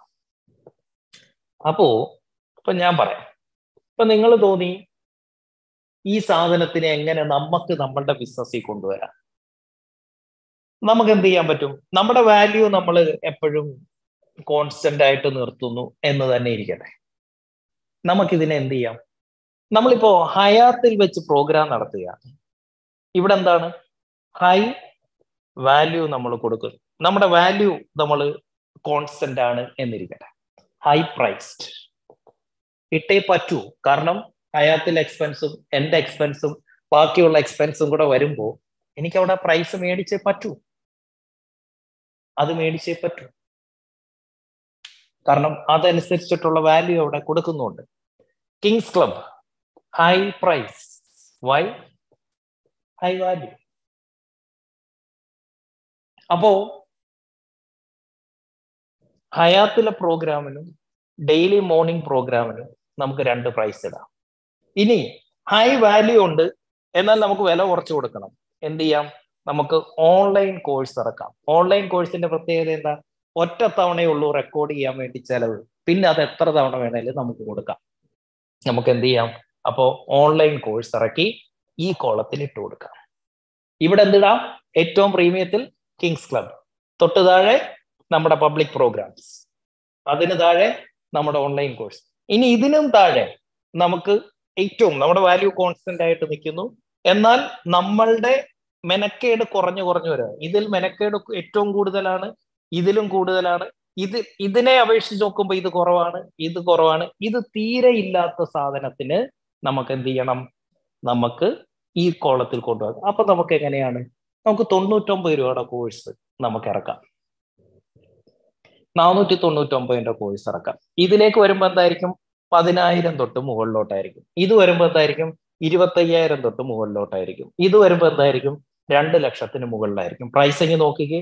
തൊണ്ണൂറ്റൊമ്പതിൽ തുടങ്ങി പതിനായിരത്തിൽ പോയി ഇരുപത്തയ്യായിരം തൊട്ട് ടു ലാക്സ് വരെ. നാലെടുത്തും പൊസിഷൻ ചെയ്യുക. ഏതെങ്കിലും ഒരിടത്തേ നമ്മളുടെ പ്രൊഡക്റ്റ് ഫിറ്റ് ആകത്തുള്ളൂ എന്ന് ചിന്തിക്കരുത്. അതിനു വേണ്ടിയിട്ടാണ് ഞാനത് പറഞ്ഞത്. ഇതാണ് പ്രൈസിങ് സ്ട്രാറ്റജി ഇതുകൊണ്ടാണ് ഈ പ്രൈസിങ് സ്ട്രാറ്റജികളെ ഞാൻ ബിസിനസ് സ്ട്രാറ്റജിയാണ് എന്ന് പറയുന്നത്. ഈ മാർക്കറ്റിലേക്ക് ഇറങ്ങാനും കൂടെ നമ്മൾ തീരുമാനം എടുക്കുക ബിസിനസ് സ്ട്രാറ്റജിയായി ഈ മാർക്കറ്റിലൂടെ ഈ പ്രൊഡക്റ്റ് ലോഞ്ച് ചെയ്യാൻ തീരുമാനിച്ചു. ബിസിനസ് സ്ട്രാറ്റജിയായി ഇവിടെ ഇറങ്ങാൻ തീരുമാനിച്ചു. ബിസിനസ് സ്ട്രാറ്റജിയായി ഇവിടെയും കൂടെ കയറാൻ തീരുമാനിച്ചു. Business strategy same product with little bit variation we can position in different range നാലിലും കൊടുക്കുന്നത് എന്റെ ക്ലാസ് തന്നെയാണ് നാലും നാല് രീതിയിൽ കൊടുത്താൽ നാല് പ്രൈസിൽ ഇറക്കാൻ പറ്റും. എന്റെ ഗുണം എന്താ? തൊണ്ണൂറ്റൊമ്പത് നാനൂറ്റി തൊണ്ണൂറ്റൊമ്പത്. നമുക്ക് ഒരു മാസം ലെറ്റ്സ് അയ്യായിരം സെയിൽ നടക്കും.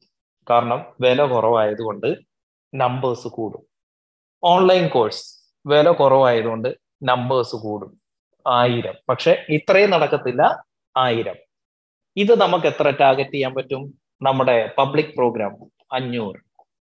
ഇത് ഏറ്റവും വില കൂടുതല അതുകൊണ്ട് നൂറ്. ഒരു മാസത്തെ ടാർഗറ്റായി എന്ത് ചെയ്താൽ മതി? ഇത് അയ്യായിരം എണ്ണം വിൽക്കണം ഇത് ആയിരം എണ്ണം വിൽക്കണം ഇത് അഞ്ഞൂറെണ്ണം വിൽക്കണം ഇത് നൂറെണ്ണം വിൽക്കണം ഒരു കാര്യം ശ്രദ്ധിച്ചോ? ഇത് നൂറെണ്ണം വിൽക്കുമ്പോൾ നമുക്ക് രണ്ട് ലക്ഷമാണ്. രണ്ട് കോടി രൂപയാവും. നൂറെണ്ണം വിൽക്കുമ്പോൾ ഇത് അയ്യായിരം എണ്ണം വിറ്റാൽ എത്ര രൂപയാകത്തുള്ളൂ? അഞ്ച് ലക്ഷം രൂപയെ കിട്ടത്തുള്ളൂ. എന്തുകൊണ്ടാണ് ആ തട്ടുകടക്കാരനും എന്തുകൊണ്ടാണ് ചൈനീസ് മേള നടത്തുന്നവനും രക്ഷപ്പെടാത്തതെന്ന് മനസ്സിലായോ? അയ്യായിരം പേർക്ക് കൊടുക്കുകയും വേണം കിട്ടുന്നത് വെറും അഞ്ച് ലക്ഷം രൂപ ഇനി ഇതിലാണെങ്കിലോ മാരുതിയുടെ റേഞ്ചിലാണെങ്കിലോ ആയിരം പേർക്ക് പതിനായിരം രൂപയ്ക്ക് കൊടുക്കുകയും വേണം. അപ്പോഴും നമുക്ക് കിട്ടുന്നത് എത്രയാ? ആയിരം ഇന്റു പതിനായിരം. ഒരു കോടി അല്ലേ? ഒരു കോടി. പക്ഷെ അപ്പോഴും ചെലവ് കൂടുതലാ. ഇനി ഇവിടെയാണെങ്കിലോ അഞ്ഞൂറ് പേർക്ക് ഇരുപത്തയ്യായിരം. എത്രയായി? അറുപത്തിരണ്ട് ലക്ഷമോ? മറ്റോ? അറുപത്തിരണ്ടര ലക്ഷം. സി ദ ഡിഫറൻസ് പക്ഷേ നമ്മൾ അസ് എ ബിസിനസ്സുകാരൻ ഈ നാലിടത്തെയും കത്തെയും കാണണം.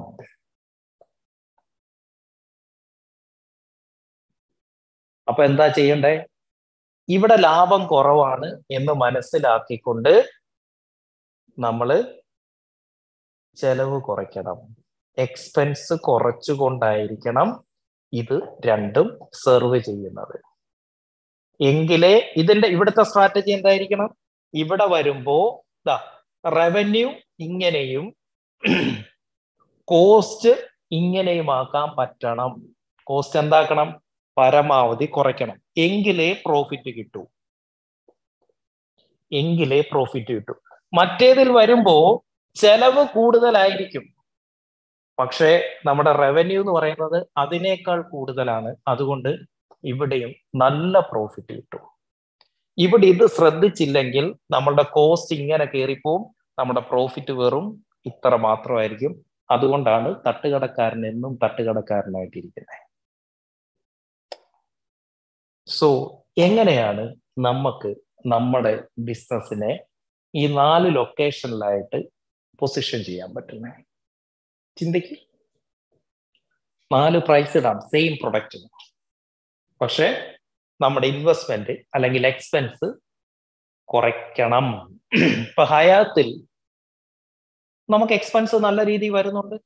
അപ്പൊ നമ്മൾ എന്ത് ചെയ്യണം? ഇവിടുത്തെ പ്രൈസ് കൂട്ടണം. കിങ്സ് ക്ലബിന് നല്ല രീതിയിൽ എക്സ്പെൻസ് വരുന്നുണ്ട്. അപ്പൊ എന്ത് ചെയ്യണം? ഇതിന്റെ പ്രൈസ് കൂടുതലായിരിക്കണം. ഇവിടേക്ക് വരുമ്പോൾ പ്രൈസ് ഇത്രയും കൂട്ടാൻ പറ്റില്ല. അപ്പൊ എന്ത് ചെയ്യണം? ചെലവ് കുറയ്ക്കണം. ഇവിടെ വില കൂട്ടാം. കാരണം അവിടെയാണ് പൊസിഷൻ ചെയ്തിരിക്കുന്നത്. ഇവിടെ പ്രശ്നം എവിടെയാണെന്ന് അറിയുള്ളൂ ഞാനിപ്പൊ കണ്ട പ്രശ്നം ഞാൻ പറയാം നമ്മൾ ഈ രീതിയിൽ നിർത്തിയിട്ട് ഹൈ വാല്യൂ ഹൈ പ്രൈസ് ഇതിൽ മാത്രം നമ്മൾ പൊസിഷൻ ചെയ്തു രണ്ടായിരത്തി ഇരുപത്തിരണ്ട്. പ്രശ്നം എവിടാന്നറിയോ? Mass majority ninety six percent നമ്മൾ അൺടച്ചബിൾ ആണെന്ന് വിചാരിച്ചു. നാല് ശതമാനം അൾട്രാ പ്രീമിയത്തിലേക്ക് മാത്രം നമ്മൾ ഒതുങ്ങിയപ്പോൾ ബാക്കിയുള്ളവർക്ക് നമ്മുടെ അടുത്തേക്ക് വരണമെന്നുണ്ട് പക്ഷെ അവന് പേടി. ഇപ്പോ ഒരു സാധാരണക്കാരന് ഒരു luxury five star seven star ഹോട്ടലിൽ ചെന്ന് കയറാൻ പേടിയാ. കാരണം അവിടുത്തെ രീതികളൊന്നും അവൻ അറിയത്തില്ല.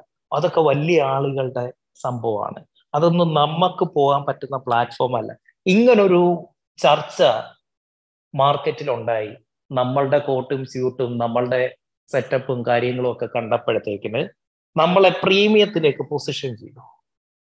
ഞാൻ പബ്ലിക് പ്രോഗ്രാം നടത്തുന്നത് പതിനാറ് ശതമാനം അതിന് തൊട്ട് താഴെയുള്ളവർക്ക് വരാൻ വേണ്ടിയാണ്. ഇപ്പോ എനിക്ക് മനസ്സിലായി ഞാൻ ഇതിൽ ഇങ്ങനെ നിന്നാൽ ഈ ട്വന്റി മാത്രം പിടിച്ചോട്ട് നിന്നാൽ ബാക്കി എയ്റ്റി പെർസെന്റിലേക്ക് എയ്റ്റി പെർസെന്റിലേക്ക് നമ്മളുടെ കോമ്പറ്റീറ്റേഴ്സ് ഇറങ്ങുന്നതായിട്ട് മനസ്സിലായി. ഇവന്മാര് മാർക്കറ്റിൽ ഇറങ്ങുന്നതായിട്ട് മനസ്സിലായി. കാരണം എന്റെ പ്രായം എക്സ്പീരിയൻസ് ട്രെയിനിങ്ങിലുള്ള ട്രെയിനർമാര് ഇപ്പോ പൊക്കി പിടിച്ചോണ്ട് വന്നിട്ടുണ്ട്. സെയിൽസ് എങ്ങനെ വർദ്ധിപ്പിക്കാം? ഇവരൊക്കെ കരിയറിൽ പത്തും മുപ്പതും കൊല്ലമായിട്ട് നിന്നവര് ഇത്രയും നാൾ ഇവർക്ക് അറിയത്തില്ലായിരുന്നോ സെയിൽസ് എങ്ങനെ വർദ്ധിപ്പിക്കാം? എന്നിട്ട് ഞാൻ മറ്റുള്ളവരെ കുറിച്ച് ഞാൻ പറയല്ല. ഞാൻ ചിലരുടെയൊക്കെ വീഡിയോസ് ഈ അടുത്ത സമയത്ത് ഞാൻ ഞാൻ കാണത്തേ ഇല്ലായിരുന്നു ഞാൻ ഒരു രീതിയിലും മറ്റൊരാളിന്റെ വീഡിയോയും ഞാൻ കാണത്തില്ല. കാരണം അറിയാതെ പോലും അവർ പറയുന്ന കാര്യം നമ്മളുടെ നാക്കിൽ വരരുത്. അവർ പറയുന്ന കാര്യങ്ങൾ നമ്മളുടെ തലയിൽ കിടക്കരുത്. അറിയാതെ നമ്മൾ പലയിടത്തും ചിലപ്പോൾ പറഞ്ഞു പോകും. അപ്പൊ പറയാം ആ ഇത് മറ്റേ പുള്ളിയുടെ ടോപ്പിക്കാ പറയിപ്പിക്കരുത് അങ്ങനെ. അതുകൊണ്ട് ഞാനിത് കാണാറേയില്ല. പക്ഷെ ഇവിടെ എന്താ നടക്കുന്നതെന്ന് അറിയാൻ രണ്ടായിരത്തി ഇരുപത്തി മൂന്നിലെ പ്ലാനിൽ എനിക്ക് ഇവിടേക്ക് ഇറങ്ങണം. അവിടെ എന്താ നടക്കുന്നതെന്ന് അറിയാൻ ഞാൻ ഇവരെ പഠിക്കാൻ തുടങ്ങി. ഞെട്ടിപ്പോവാ സെയിൽസിൽ ഇതിനു വേണ്ടി തിയറി ഉണ്ടോ എന്ന് ഞാൻ ആലോചിച്ചു. എന്തുകൊണ്ടാണ് അവരുടെ ബിസിനസ് അവരുടെ ട്രെയിനിങ് ബിസിനസ് വളരാത്തത് എന്നുള്ളതിന്റെ ഉത്തരം അവരുടെ സെയിൽസ് വീഡിയോസ് കണ്ടപ്പോൾ എനിക്ക് മനസ്സിലായി. അവർക്ക് സെയിൽസ് അറിയത്തില്ല. അവൻ അവന്റെ പ്രൊഡക്റ്റ് സെൽ ചെയ്യാൻ അറിയത്തില്ല. പിന്നെ നാട്ടുകാരുടെ വിൽക്കാൻ നടക്കില്ല. ഈ എൺപത് ശതമാനം ആളുകളെ ഇവർ വഴിതെറ്റിക്കുകയാണെന്ന് മനസ്സിലായി. എന്ത്? ചെറിയ പൈസ മേടിച്ചു. രണ്ടായിരം മൂവായിരം അയ്യായിരം രൂപ ട്രെയിനിങ്ങിന് എന്നും പറഞ്ഞ് മേടിച്ചിട്ട് എന്താണോ അവരെ പഠിപ്പിക്കുന്നത് എനിക്കറിയത്തില്ല. അവർ സെയിൽസ് ടോപ്പിക്കുകൾ എന്നും പറഞ്ഞിട്ട് വീഡിയോസ് ഇടുന്നു. മുഴുവൻ മോട്ടിവേഷണൽ വീഡിയോസാണ് നിങ്ങൾ രാവിലെ പ്രാർത്ഥിച്ചിട്ടിറങ്ങിയാൽ നിങ്ങൾക്ക് സെയിൽസ് വരും. നിങ്ങൾ രാവിലെ മെഡിറ്റേറ്റ് ചെയ്തിട്ട് നിങ്ങൾ ഇരുന്നാൽ നിങ്ങൾക്ക് ബിസിനസ് വരും. നിങ്ങൾ രാവിലെ തൊട്ട് അഫർമേഷൻ ജപിച്ചുകൊണ്ടിരുന്നു കഴിഞ്ഞാൽ നിങ്ങൾക്ക് എടാ ഇതൊക്കെ ഇതൊക്കെ ലോ ഓഫ് അട്രാക്ഷൻ എന്ന് പറഞ്ഞാൽ ഇറ്റ്സ് ഇറ്റ്സ് എ ലോ നമ്മൾ പറയുന്നത് കസ്റ്റമറുടെ മുന്നിൽ ചെന്നിരിക്കും കസ്റ്റമർ ഇങ്ങനെ പറഞ്ഞാൽ എന്ത് പറയണം? ഇതാണ് സെയിൽസ് ട്രെയിനിങ് അതല്ലാതെ റൂമിന്റെ അകത്ത് കയറിയിരുന്നോട്ട് നാമം ജപിച്ചുകൊണ്ടിരിക്കുന്നതല്ല സെയിൽസ് ട്രെയിനിങ് ഈ എൺപത് ശതമാനത്തിനെ വഴിതെറ്റിക്കുന്നുണ്ട് എന്ന് ബോധ്യപ്പെട്ടു. ഇവരെ പഠിപ്പിക്കുന്നത് ഒരാവശ്യവുമില്ലാത്ത കാര്യമാണെന്ന് മനസ്സിലായി. അതുകൊണ്ട് ഈ രണ്ട് കോളത്തിലേക്ക് ഇറങ്ങാൻ തീരുമാനിച്ചു. ഈ കോളത്തിൽ ഇറങ്ങാൻ തീരുമാനിച്ചിരിക്കുന്നത് നമ്മുടെ ഓൺലൈൻ കോഴ്സാണ്. ഓൺലൈൻ കോഴ്സിൽ നമ്മൾ പറഞ്ഞ പോലെ തൊണ്ണൂറ്റി ഒമ്പത് രൂപ മുതൽ തൊണ്ണൂറ്റൊമ്പതിനായിരത്തി തൊള്ളായിരത്തി തൊണ്ണൂറ്റൊമ്പത് രൂപ വരെയുള്ള ഓൺലൈൻ കോഴ്സുകൾ ഇറക്കാൻ തീരുമാനിച്ചു. ഒരു ലക്ഷം രൂപ വരെ. തൊണ്ണൂറ്റി ഒമ്പത് രൂപ മുതൽ ഒരു ലക്ഷം രൂപ വരെയുള്ള. എന്തായാലും ഈ ചൈനീസ് മാർക്കറ്റിലോട്ട് ഇറങ്ങാൻ എനിക്ക് ഒട്ടും താല്പര്യമില്ല. അതുകൊണ്ട് എന്ത് ചെയ്തു? ആർക്കാണോ ഇവർ ഈ രണ്ടായിരവും മൂവായിരവും മേടിച്ച് ട്രെയിനിങ് കൊടുക്കുന്നത്? അവർക്ക് അബ്സല്യൂട്ട്ലി ഫ്രീ സെയിൽസ് ട്രെയിനിങ് രണ്ടായിരത്തി ഇരുപത്തി മൂന്ന്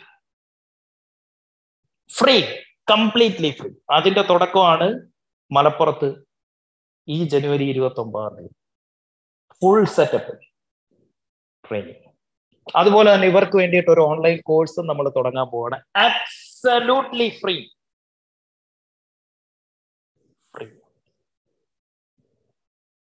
അങ്ങനെ അവരെ പറ്റിച്ച് ആരും തിന്നണ്ട. ആ രണ്ടായിരം മൂവായിരം പിച്ചച്ചട്ടി കൈയിട്ട് വരാൻ ഞാൻ സമ്മതിക്കത്തില്ല. അപ്പൊ എന്താ സംഭവിക്കുന്നത് എന്റെ മാർക്കറ്റ് നമ്മൾ കവർ ചെയ്യും. ഇവിടെ ഫ്രീ കൊടുക്കും ഇവിടെ എഫേർട്ട് കുറച്ച് എക്സ്പെൻസ് കുറച്ച് അതുകൊണ്ട് തൊണ്ണൂറ്റൊമ്പത് രൂപ തൊട്ട് നൂറ്റി തൊണ്ണൂറ്റൊമ്പത് ഇരുന്നൂറ്റി തൊണ്ണൂറ്റൊമ്പത് നാനൂറ്റി കാരണം ഇതിലൊന്നും ഞാൻ നേരിട്ട് ഇൻവോൾവ് ആകുന്നില്ല.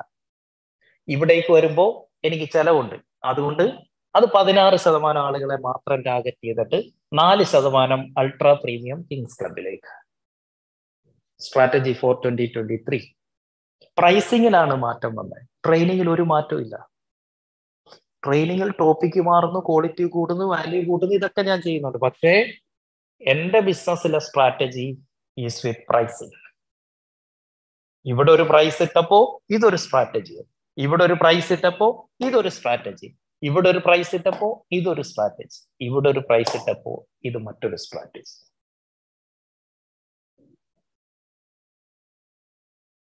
pricing strategy is another business strategy.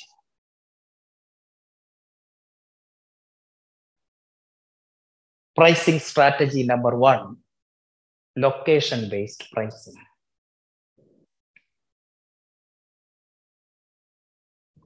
Location based pricing കിട്ടിയല്ലോ?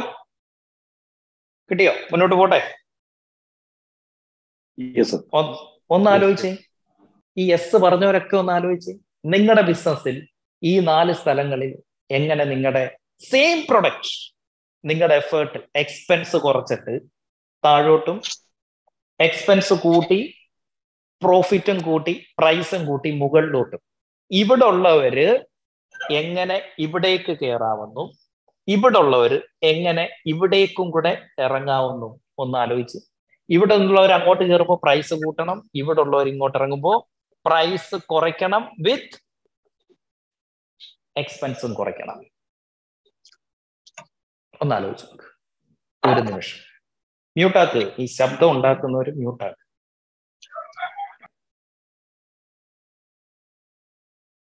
പറ. ഒരു നിമിഷം ഒന്ന് ആലോചിച്ച്.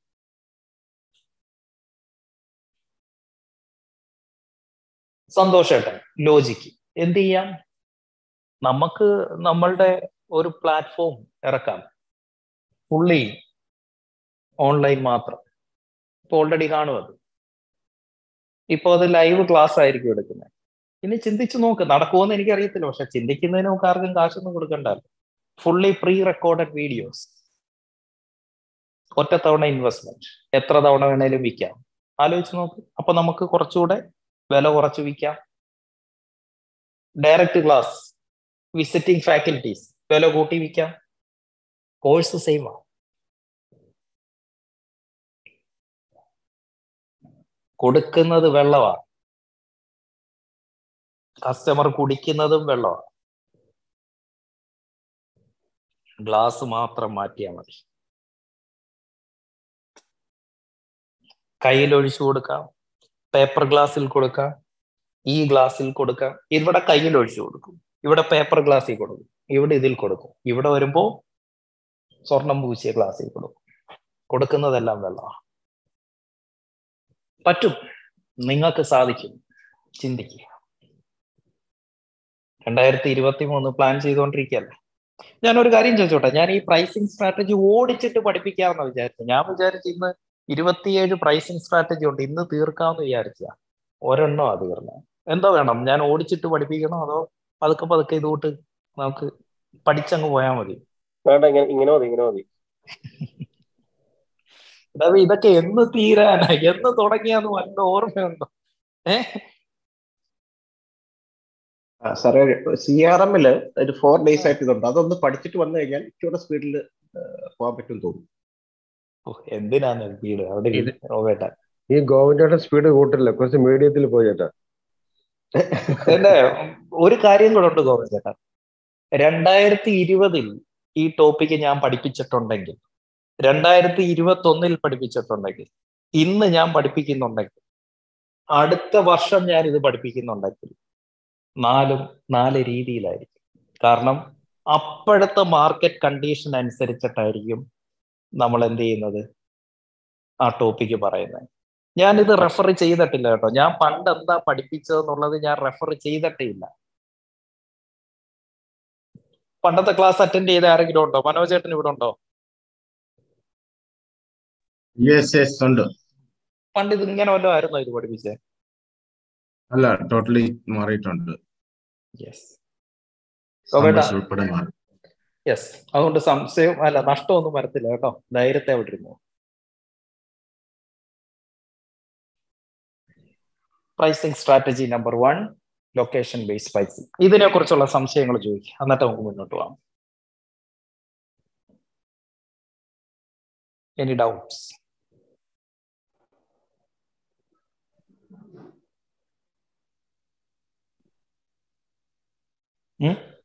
ഇല്ല. മുന്നോട്ട് പോവാം.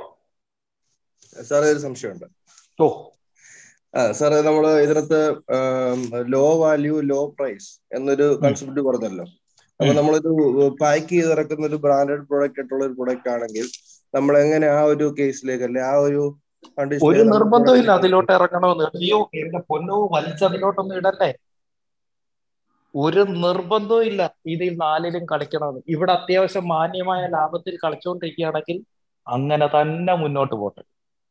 അല്ല നമുക്ക് ആ ഒരു കസ്റ്റമേഴ്സിനെ കൂടെ ചെയ്യാനുള്ള ഒരു ഓപ്ഷൻ നമുക്ക് നഷ്ടപ്പെടുമല്ലേ അതല്ലെങ്കിൽ വേറെ ഒരു ബ്രാൻഡ് നെയിം ക്രിയേറ്റ് ചെയ്ത് ആ രീതിയിൽ നമ്മുടെ പ്രൊഡക്റ്റ് തീർച്ചയായിട്ടും തീർച്ചയായിട്ടും. മറ്റൊരു പേരിൽ വില കുറച്ച് ക്വാളിറ്റി കുറച്ച് പാക്കിങ്ങിന്റെ ഭംഗിയൊക്കെ കുറച്ച് നമുക്ക് വേണമെങ്കിൽ ഇറക്കാം. പക്ഷേ ഞാൻ ഇപ്പോഴും പറയുന്നു ഇവിടെ നമുക്ക് നിങ്ങൾ എവിടെ എത്തി എന്നുള്ളതാണ് എന്റെ ചോദ്യം. അതിനുശേഷമേ തീരുമാനിക്കാവൂ. നാല് ലെവലാണ് നമ്മുടെ ബിസിനസിന്റെ ഗ്രോത്ത് ഉള്ളത്. ഒന്നാമത്തത് സ്ട്രഗിളിങ്. സ്ട്രഗിളിങ്. മൊത്തത്തിൽ പെട്ടിരിക്കുക.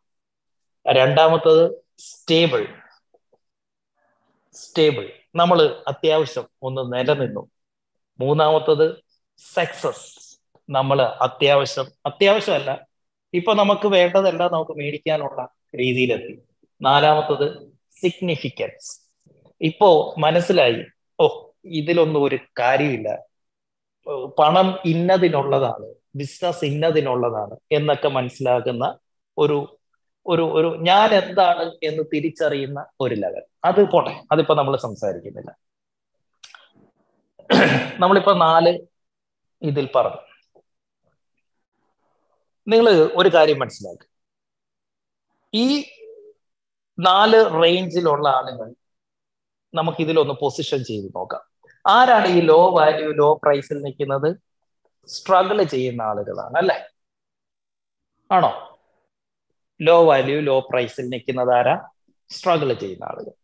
ഇവിടെ നിൽക്കുന്ന ആരാ? അത്യാവശ്യം സ്റ്റേബിൾ ആയിട്ടുള്ള ആളുകൾ. യെസ് പ്ലീസ് മ്യൂട്ട് ആക്കുക മ്യൂട്ട് ആക്കുക ഇവിടെ നിൽക്കുന്നത് ആരാ? നമ്മൾ ഈ പറഞ്ഞ സക്സസ് ആയിട്ടുള്ള പ്രീമിയം ആളുകൾ. അല്ലെ? ആ മുകളിൽ നിൽക്കുന്ന. നിങ്ങൾക്കൊരു കാര്യം അറിയോ? ശ്രദ്ധിച്ച് കേട്ടോണം. ഇപ്പൊ ചോദ്യം വന്നത് കറക്റ്റായി ഇല്ലെങ്കിൽ ചിലരെങ്കിലും തെറ്റിദ്ധരിച്ചാണ്. നിങ്ങൾ നിൽക്കുന്നത് ഇവിടെയാണ്. നിങ്ങൾ സ്ട്രഗിളിലാണ് എങ്കിൽ ഒരു കാരണവശാലും ദാണ്ട് ഇവനെ സെർവ് ചെയ്യാൻ ഇറങ്ങരുത്. കാരണം അവരും സ്ട്രഗിളിലാണ് നിങ്ങളും സ്ട്രഗിൾ ആണ്. ഈ സ്ട്രഗിളിൽ നിൽക്കുന്ന ഒരാൾ എവിടെയാ ബിസിനസ് ചെയ്യേണ്ടതെന്ന് അറിയോ ഇവിടെ ബിസിനസ് ചെയ്യണം. കാരണം ഇവിടെയാണ് പ്രോഫിറ്റ് ഇരിക്കുന്നത്. അവിടുന്ന് പ്രോഫിറ്റ് ഞാൻ എന്താ ചെയ്ത? എന്റെ ബിസിനസ് നിങ്ങൾ മനസ്സിലാക്കണം. ഞാൻ എന്താ ചെയ്തത് എന്ന് മനസ്സിലാക്കണം. എന്റെ ലൈഫിൽ എനിക്ക് ഒരുപാട് പ്രതിസന്ധികളും കടങ്ങളും ബുദ്ധിമുട്ടും ഉള്ള സമയത്ത് ഞാൻ ഇവിടെ ഇറങ്ങിയില്ല. ഞാൻ ഇവിടെ ഇറങ്ങിയില്ല. ഞാൻ ഇവിടെ ഇറങ്ങിയില്ല. ഞാൻ ഇവിടെ ഇറങ്ങി. ഈ ബുദ്ധിമുട്ടുകൾ മാറിക്കഴിഞ്ഞപ്പോ ഞാൻ ഈ മാർക്കറ്റ് ഓപ്പൺ ചെയ്തു. ഇത് രണ്ടും മാറി ഞാൻ എന്റെ സ്ട്രഗിൾ മാറി സ്റ്റേബിൾ മാറി സക്സസ് ആയപ്പോഴത്തേക്കിനാണ് ഞാൻ ഈ രണ്ട് മാർക്കറ്റിലേക്ക് ഇറങ്ങുന്നത്. മനസ്സിലാക്കണം.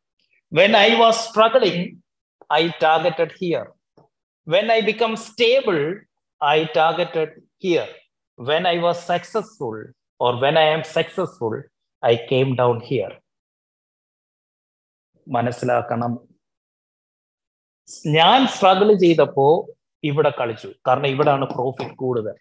അവിടുന്ന് പ്രോഫിറ്റ് കൂടുതൽ കിട്ടിയപ്പോൾ ഞാൻ സ്റ്റേബിൾ ആയപ്പോൾ ഞാൻ പതിനാറ് ശതമാനത്തിലോട്ടും കൂടെ ഇറങ്ങി.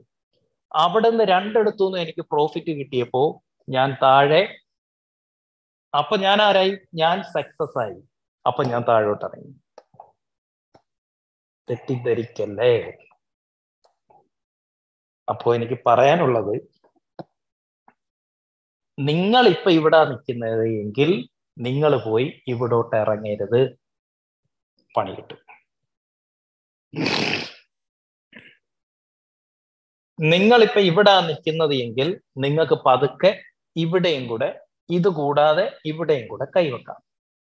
നിങ്ങൾ സക്സസ് സ്റ്റേജിലേക്ക് എത്തി. സക്കറിയൊക്കെ എന്റെ അടുത്ത് ചോദിക്കുക. ഞാൻ പറയിക്ക ഇവിടത്തേക്ക് ഇറങ്ങിക്കോ. ഞാൻ പറയും.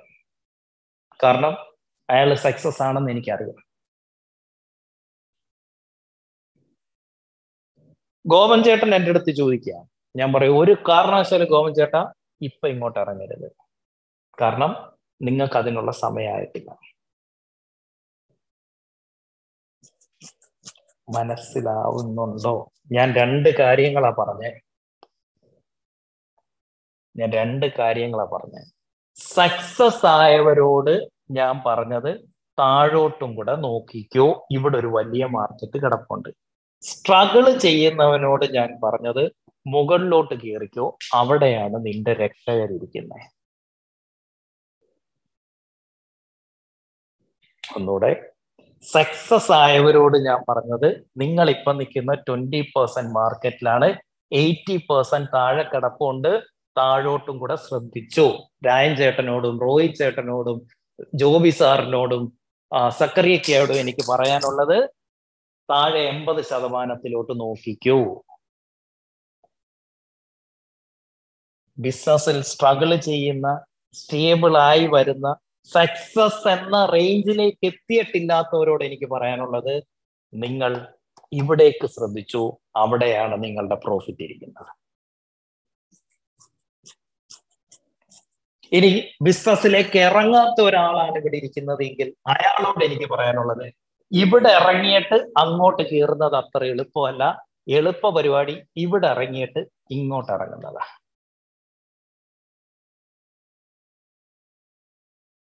സക്സസ് ആയവരോട് താഴോട്ട് നോക്കിക്കോ. സക്സസ് ആകാത്തവരോട് മേളോട്ട് നോക്കിക്കോ.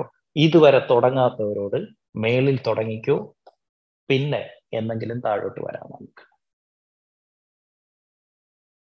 വെരി ക്ലിയർ റൈറ്റ്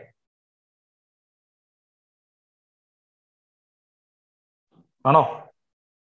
അതെ സാർ അതെ അതെ. താങ്ക് യു യെസ് ആ ഷിജു ആ ചോദ്യം ചോദിച്ചില്ലായിരുന്നെങ്കിൽ ഇപ്പം പെട്ടുപോയനെ കേട്ടോ. ചിലരൊക്കെ ഇന്ന് പോയിരുന്ന ആവശ്യമില്ലാതെ താഴോട്ടും പോയി മേളോട്ടും പോയി.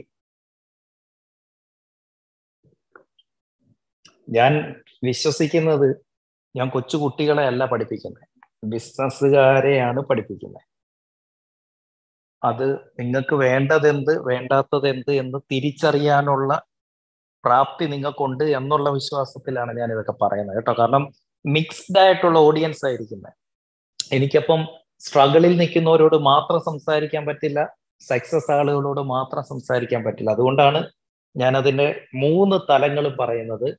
സ്ട്രഗിളിൽ നിൽക്കുന്നവർക്ക് രക്ഷപ്പെടാനുള്ള മാർഗം മുകളിൽ കിടപ്പുണ്ട്. സക്സസ് ആയവർക്ക് വലുതാകാനുള്ള മാർഗം താഴെ കിടപ്പുണ്ട്. ശരിയാണോ? അസ്മലിക്കോ നമ്മുടെ ഈ ഫോർമുല ശരിയാണോ? ഇങ്ങനൊക്കെ ഒരുപാട് പുതിയ പുതിയ ഫോർമുല നമുക്ക് ഉണ്ടാവുന്നത് കേട്ടോ. ഇതിപ്പോ ഒരു പുതിയ ടോപ്പിക് ആയില്ല? ഇതിപ്പോ ഉണ്ടായതാ. അസ്മലിക്ക ഈ മൂന്ന് കാര്യം ശരിയാണോ? ശരിയാണ് സർ റിയലി സർ യെസ് അസ്മലിക്കയും ഇവിടെ നിൽക്കുന്ന ആളാ. താഴെ വലിയൊരു മാർക്കറ്റ് കിടപ്പുണ്ട്. ഇവിടെ ആയി എന്ന് നിങ്ങൾക്ക് ബോധ്യം ഉണ്ടെങ്കിൽ മാത്രം താഴത്തെ മാർക്കറ്റിനെ കുറിച്ച് ചിന്തിക്കുക. എങ്ങനെ ബോധ്യമാകുന്നേ? നമ്മൾ സക്സസ് ആയോ എന്ന് നമുക്ക് സ്വയം ബോധ്യപ്പെടുന്ന എപ്പോഴാ? When you have choice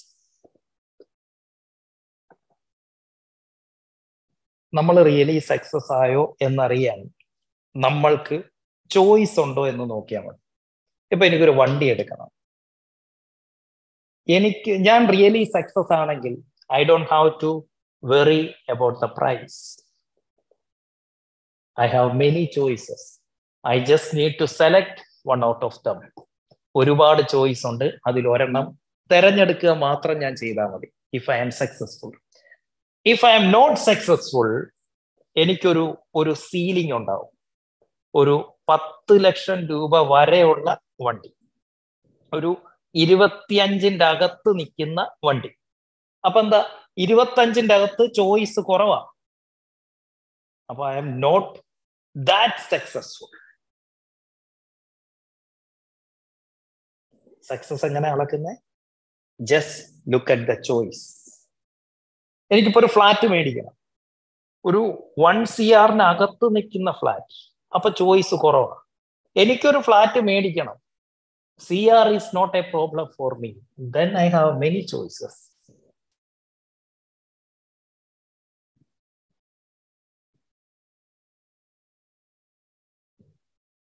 are you successful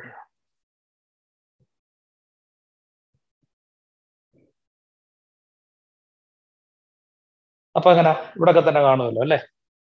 Pricing strategy number one. ഈ- ഹൈ ഈ ഹൈ പ്രൈസും ലോ പ്രൈസും ഈ നാല് പ്രൈസിനെ കുറിച്ച് പറഞ്ഞല്ലോ. ഈ റീറ്റെയിൽ സെക്ടർ നമുക്ക് ഫാർമസി മേഖലയിൽ അങ്ങനെ അപ്ലൈ ചെയ്യാൻ പറ്റുമോ? അത് സാധ്യത കുറവല്ലേ? നമ്മളെ ഞാൻ ഇന്നലെ പറഞ്ഞായിരുന്നല്ലോ കഴിഞ്ഞ ദിവസം ആസ്റ്ററിൽ പോയി എന്നുള്ളത്. ആസ്റ്ററിൽ പോയപ്പോ ഞാൻ കണ്ട ഒരു കാര്യം. അതിന്റെ അകത്ത് ഈ ഭാഗത്ത് ഡോക്ടേഴ്സ് ഇരിക്കുന്ന ക്യാബിൻ ഈ ഭാഗത്ത് ഫാർമസി ഈ ഭാഗത്ത് ലാബ് ഈ ഭാഗത്ത് അവരുടെ എക്സ്റേ സംഭവങ്ങളൊക്കെ. ഇവിടെ റിസപ്ഷൻ ഞാൻ അവിടെ നിന്നിട്ട് ഇതിന്റെ മൊത്തത്തിലുള്ള ഒരു ലേഔട്ട് വെച്ചിട്ട് ഞാൻ ഇതിന്റെ ഇൻകം നോക്കുമായിരുന്നു ഈ ചെന്ന് കയറിയ എന്റെ അടുത്ത് നിന്ന് ഒ പി ഒ പി എന്തിനാണ്?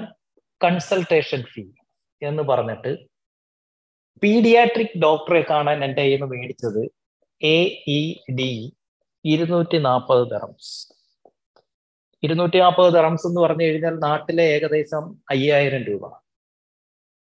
ഒരു ഡോക്ടറെ കൺസൾട്ട് ചെയ്യുന്ന ഫീ അയ്യായിരം രൂപ. ഞാൻ അത് കൊടുത്തു. ഇനി എന്റെ ഡോക്ടറെ കാണണം. എനിക്ക് വന്നത് A E D one eighty ആയിരുന്നോ? വൺ നയന്റി ആയിരുന്നോ? അറൌണ്ട് നാലായിരം രൂപ. കുഞ്ഞിന് അയ്യായിരം എനിക്ക് നാലായിരം. കൺസൾട്ട് ചെയ്യണം. കൺസൾട്ട് ചെയ്തിട്ട് പറഞ്ഞു പപ്പുണ്ണിക്ക് ഒരു ടെസ്റ്റ് നടത്താൻ പറഞ്ഞു. ലാബിൽ പോയി. ഇവിടെ പൈസ അടച്ചു. എനിക്ക് കൺസൾട്ട് ചെയ്തു. എനിക്ക് ഫാർമയിൽ നിന്ന് മരുന്ന് എഴുതി തന്നു പപ്പുണ്ണിയുടെ ടെസ്റ്റ് കഴിഞ്ഞ് റിസൾട്ട് കിട്ടി. തിരിച്ചു തന്നു ഫാർമയിൽ നിന്ന് മരുന്ന് എഴുതി തന്നു ജോൺസൺ ചേട്ടാ ക്യാൻ യു ഇമാജിൻ ഈ ഫാർമസിയിൽ നിന്ന് ഈ ഒരൊറ്റ ഫാർമസി വെച്ചുകൊണ്ട് എത്ര രൂപയുടെ ബിസിനസ്സിലേക്കാണ് ഏസ്റ്റർ മെഡിസിറ്റി അല്ലെങ്കിൽ ഏസ്റ്റർ ക്ലിനിക് ഇതൊരു ക്ലിനിക്കാണ് കേട്ടോ. ഒരു ഫാർമസിയെ ഒരു ക്ലിനിക്കാക്കി അവർ മാറ്റി. കേവലം ഫാർമസിയെ ക്ലിനിക്കാക്കി മാറ്റി. ഞാൻ ഇന്നലെ ആ മെഡിസിൻ എന്റെ തീർന്നു. മൂന്ന് ദിവസമായപ്പോൾ കഴിഞ്ഞു. അപ്പം ഡോക്ടർ എന്നോട് പറഞ്ഞിരുന്നു കുറവില്ലെങ്കിൽ അത് ഒരു കോഴ്സും കൂടെ റിപ്പീറ്റ് ചെയ്യണമെന്ന് പറഞ്ഞു. ആ മെഡിസിൻ ഇന്നലെ ഞാൻ പുറത്തൊരു മെഡിക്കൽ സ്റ്റോറിൽ പോയി മേടിച്ചു. എനിക്ക് അവിടെ ചെലവായത് അങ്ങോട്ട് മുന്നൂറ്റി എൺപത് തെറംസ് ആയിരുന്നു. മുന്നൂറ്റി എൺപത് എന്ന് പറയുമ്പോൾ ഞാനും പപ്പുണ്ണിയും കൂടെ പോയി അവിടെ ചെന്ന് ഒരു കൺസൾട്ടിങ് കഴിഞ്ഞ് മെഡിസിൻ മേടിച്ചിറങ്ങിയപ്പോൾ ഇരുപത്തി ഒമ്പതിനായിരം ഇന്ത്യൻ രൂപ എനിക്ക് ചെലവായി. ജോൺസൺ ചേട്ടനോട് ആര് പറഞ്ഞു കുണ്ടന്നൂര് മാറിയിരിക്കാൻ? കുണ്ടന്നൂര് ആണെങ്കിൽ നൂറ്റമ്പത് രൂപ കൺസൾട്ടിങ് ഫീയും കൂടി പോയ അഞ്ഞൂറ് രൂപയുടെ മരുന്നും എഴുന്നൂറ്റമ്പത് രൂപയെ കിട്ടത്തുള്ളൂ. അതേ സാധനം ദുബൈയിലെ കിസൈസിലേക്ക് വന്നപ്പോൾ ഇരുപത്തി ഒമ്പതിനായിരം രൂപ കിട്ടും. നിങ്ങൾക്ക് നിങ്ങളുടേതായ കുറെ ലിമിറ്റേഷൻസ് വെച്ചിട്ട് നിങ്ങൾ പറയുകയാണ് അവിടെ ബിസിനസ് കിട്ടുന്നില്ല. കുണ്ടന്നൂർ ആ ബിൽഡിങ്ങിന്റെ അകത്തോട്ട് വന്ന് കയറാൻ മേടിക്കാൻ ഞങ്ങൾക്ക് സൗകര്യമില്ല ഹൈവേ കൂടെ പോയിക്കൊണ്ടിരിക്കുന്ന ഞാൻ എന്തിനാണ് നിങ്ങളുടെ കടയിൽ വന്ന് സാധനം മേടിക്കുന്നത്? നിങ്ങൾ കടയ ഹൈവേ സൈഡിൽ കൊണ്ട് വെച്ചതാ. ഞാൻ മേടിക്കാം. നിങ്ങൾ ദുബൈ വാ. ഞാൻ ഇത്രയും പൈസ തരാം. നിങ്ങളുടെ അടുത്ത് വരുമ്പോൾ എനിക്ക് അത് നൂറ്റമ്പത് രൂപയ്ക്ക് കിട്ടും. ഇവിടെ വരുമ്പോൾ ഞാൻ ഇരുപത്തി ഒമ്പതിനായിരം രൂപ കൊടുക്കും. ലൊക്കേഷൻ ബേസ്ഡ് പ്രൈസിങ് അതാ പഠിച്ചുകൊണ്ടിരിക്കുന്നത് പറയും.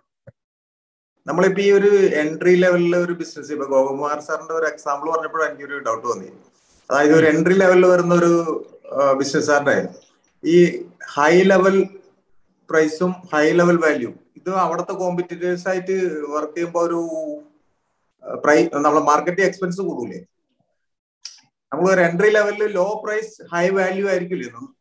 ഇതൊക്കെ ഇതൊക്കെ ശരിയായിരുന്നു ഇന്റർനെറ്റ് ഇല്ലാത്ത കാലത്ത്.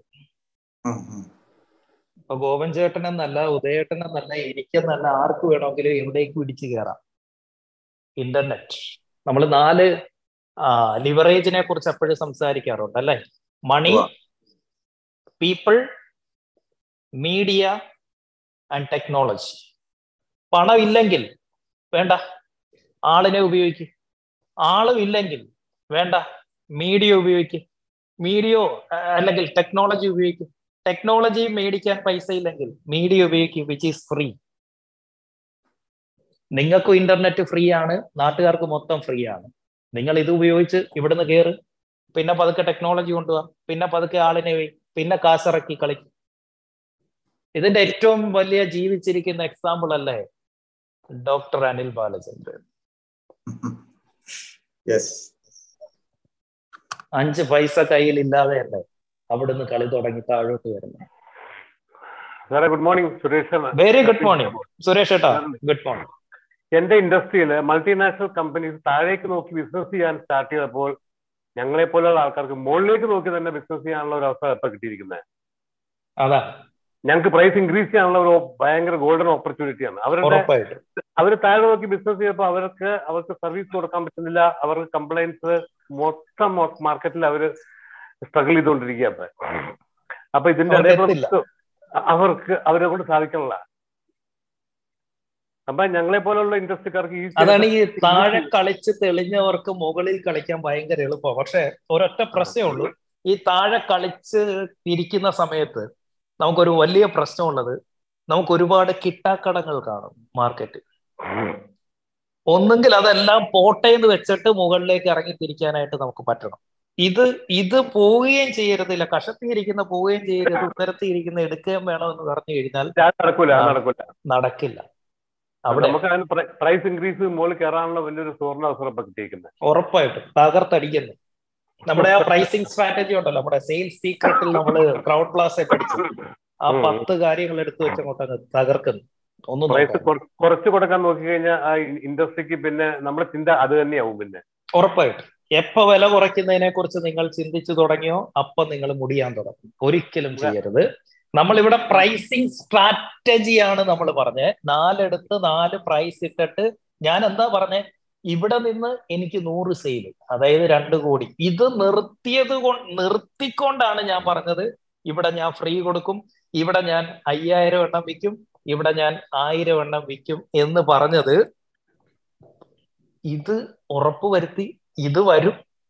ഇതും വരും. കൂട്ടത്തിൽ ഇതും വരും എന്നാ പറഞ്ഞ. അല്ലാതെ ഇതിന്റെ വില കുറച്ച് ഇവിടെ കൊടുക്കാമെന്നല്ല ഞാൻ പറഞ്ഞത് അല്ല മനസ്സിലായി മനസ്സിലായി. അല്ല ഞങ്ങളുടെ സുരേഷ് ഏട്ടനോടല്ല. ഞാൻ സുരേഷ് ഏട്ടനോടല്ല പറഞ്ഞത് സുരേഷ് ഏട്ടന് കൃത്യമായി മനസ്സിലായി എന്ന് എനിക്ക് മനസ്സിലായി. ഞാൻ മറ്റുള്ളവരോട് പറഞ്ഞത് ഇതിന്റെ വില കുറയ്ക്കുകയല്ല ചെയ്തത്. ഇത് വില കൂട്ടിക്കൊണ്ട് നമുക്ക് ഇവിടെ എങ്ങനെ കളിക്കാൻ പറ്റും എന്ന് നോക്കണം. അതാണ് സുരേഷ് ഏട്ടനും പറഞ്ഞുകൊണ്ടിരിക്കുന്നത്. പറയട്ടെ. കയ്യിൽ റോ മെറ്റീരിയൽ ഈ ബാഡ് ക്വാളിറ്റി റോ മെറ്റീരിയൽ ഒക്കെ ഉണ്ടാവും. അപ്പൊ അത് ഞാൻ ഏതായാലും ഒരു ഒരു സ്റ്റാൻഡേർഡ് കുറഞ്ഞ ഒരു പ്ലൈവുഡ് അടിച്ച് ഒഴിവാക്കുക ചെയ്യണം മാർക്കറ്റിലേക്ക് അത് മുഴുവൻ നമ്മൾ അത് ഒരു ലോ ക്വാളിറ്റി അടിച്ച് ഒഴിവാക്കും ടെൻ പെർസെന്റ് അതാണ് എത്ര എടുത്ത് ആ പ്ലൈവുഡിന്റെ ആവശ്യമുണ്ട്. ഫോർ എക്സാമ്പിൾ തട്ടടിക്കുന്നതിന്. ഈ വാർപ്പിന്. ഇതിനൊക്കെ നമുക്ക് ലോ ക്വാളിറ്റി പ്ലൈവുഡ് മതി. ആ പ്ലൈവുഡും അവർ മറയുന്നു ഞാൻ വിൽക്കുന്ന പലരും. അതല്ലേ ഭയങ്കര സർപ്രൈസ് അത് കെമിക്കൽ ട്രീറ്റ് ചെയ്ത് കൊടുത്തു കഴിഞ്ഞാൽ മറയുന്നു ഒരു പ്രിന്റ് ചെയ്ത് അവർ വിൽക്കുക അത് ഒരു ഇല്ല അതിന്. ഓക്കെ.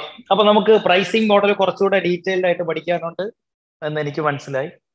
അപ്പോൾ ഈ പ്രൈസിംഗ് മോഡൽ പഠിക്കുമ്പോൾ ഉള്ള ഗുണം എന്താണെന്ന് ചോദിച്ചാൽ പ്രൊഡക്റ്റിൽ വലിയ മാറ്റമൊന്നും വരുത്തണ്ട. പ്രൈസിങ്ങിൽ മാത്രം മാറ്റം വരുത്തിയാൽ നമുക്ക് കച്ചവടം കൂട്ടാൻ പറ്റും.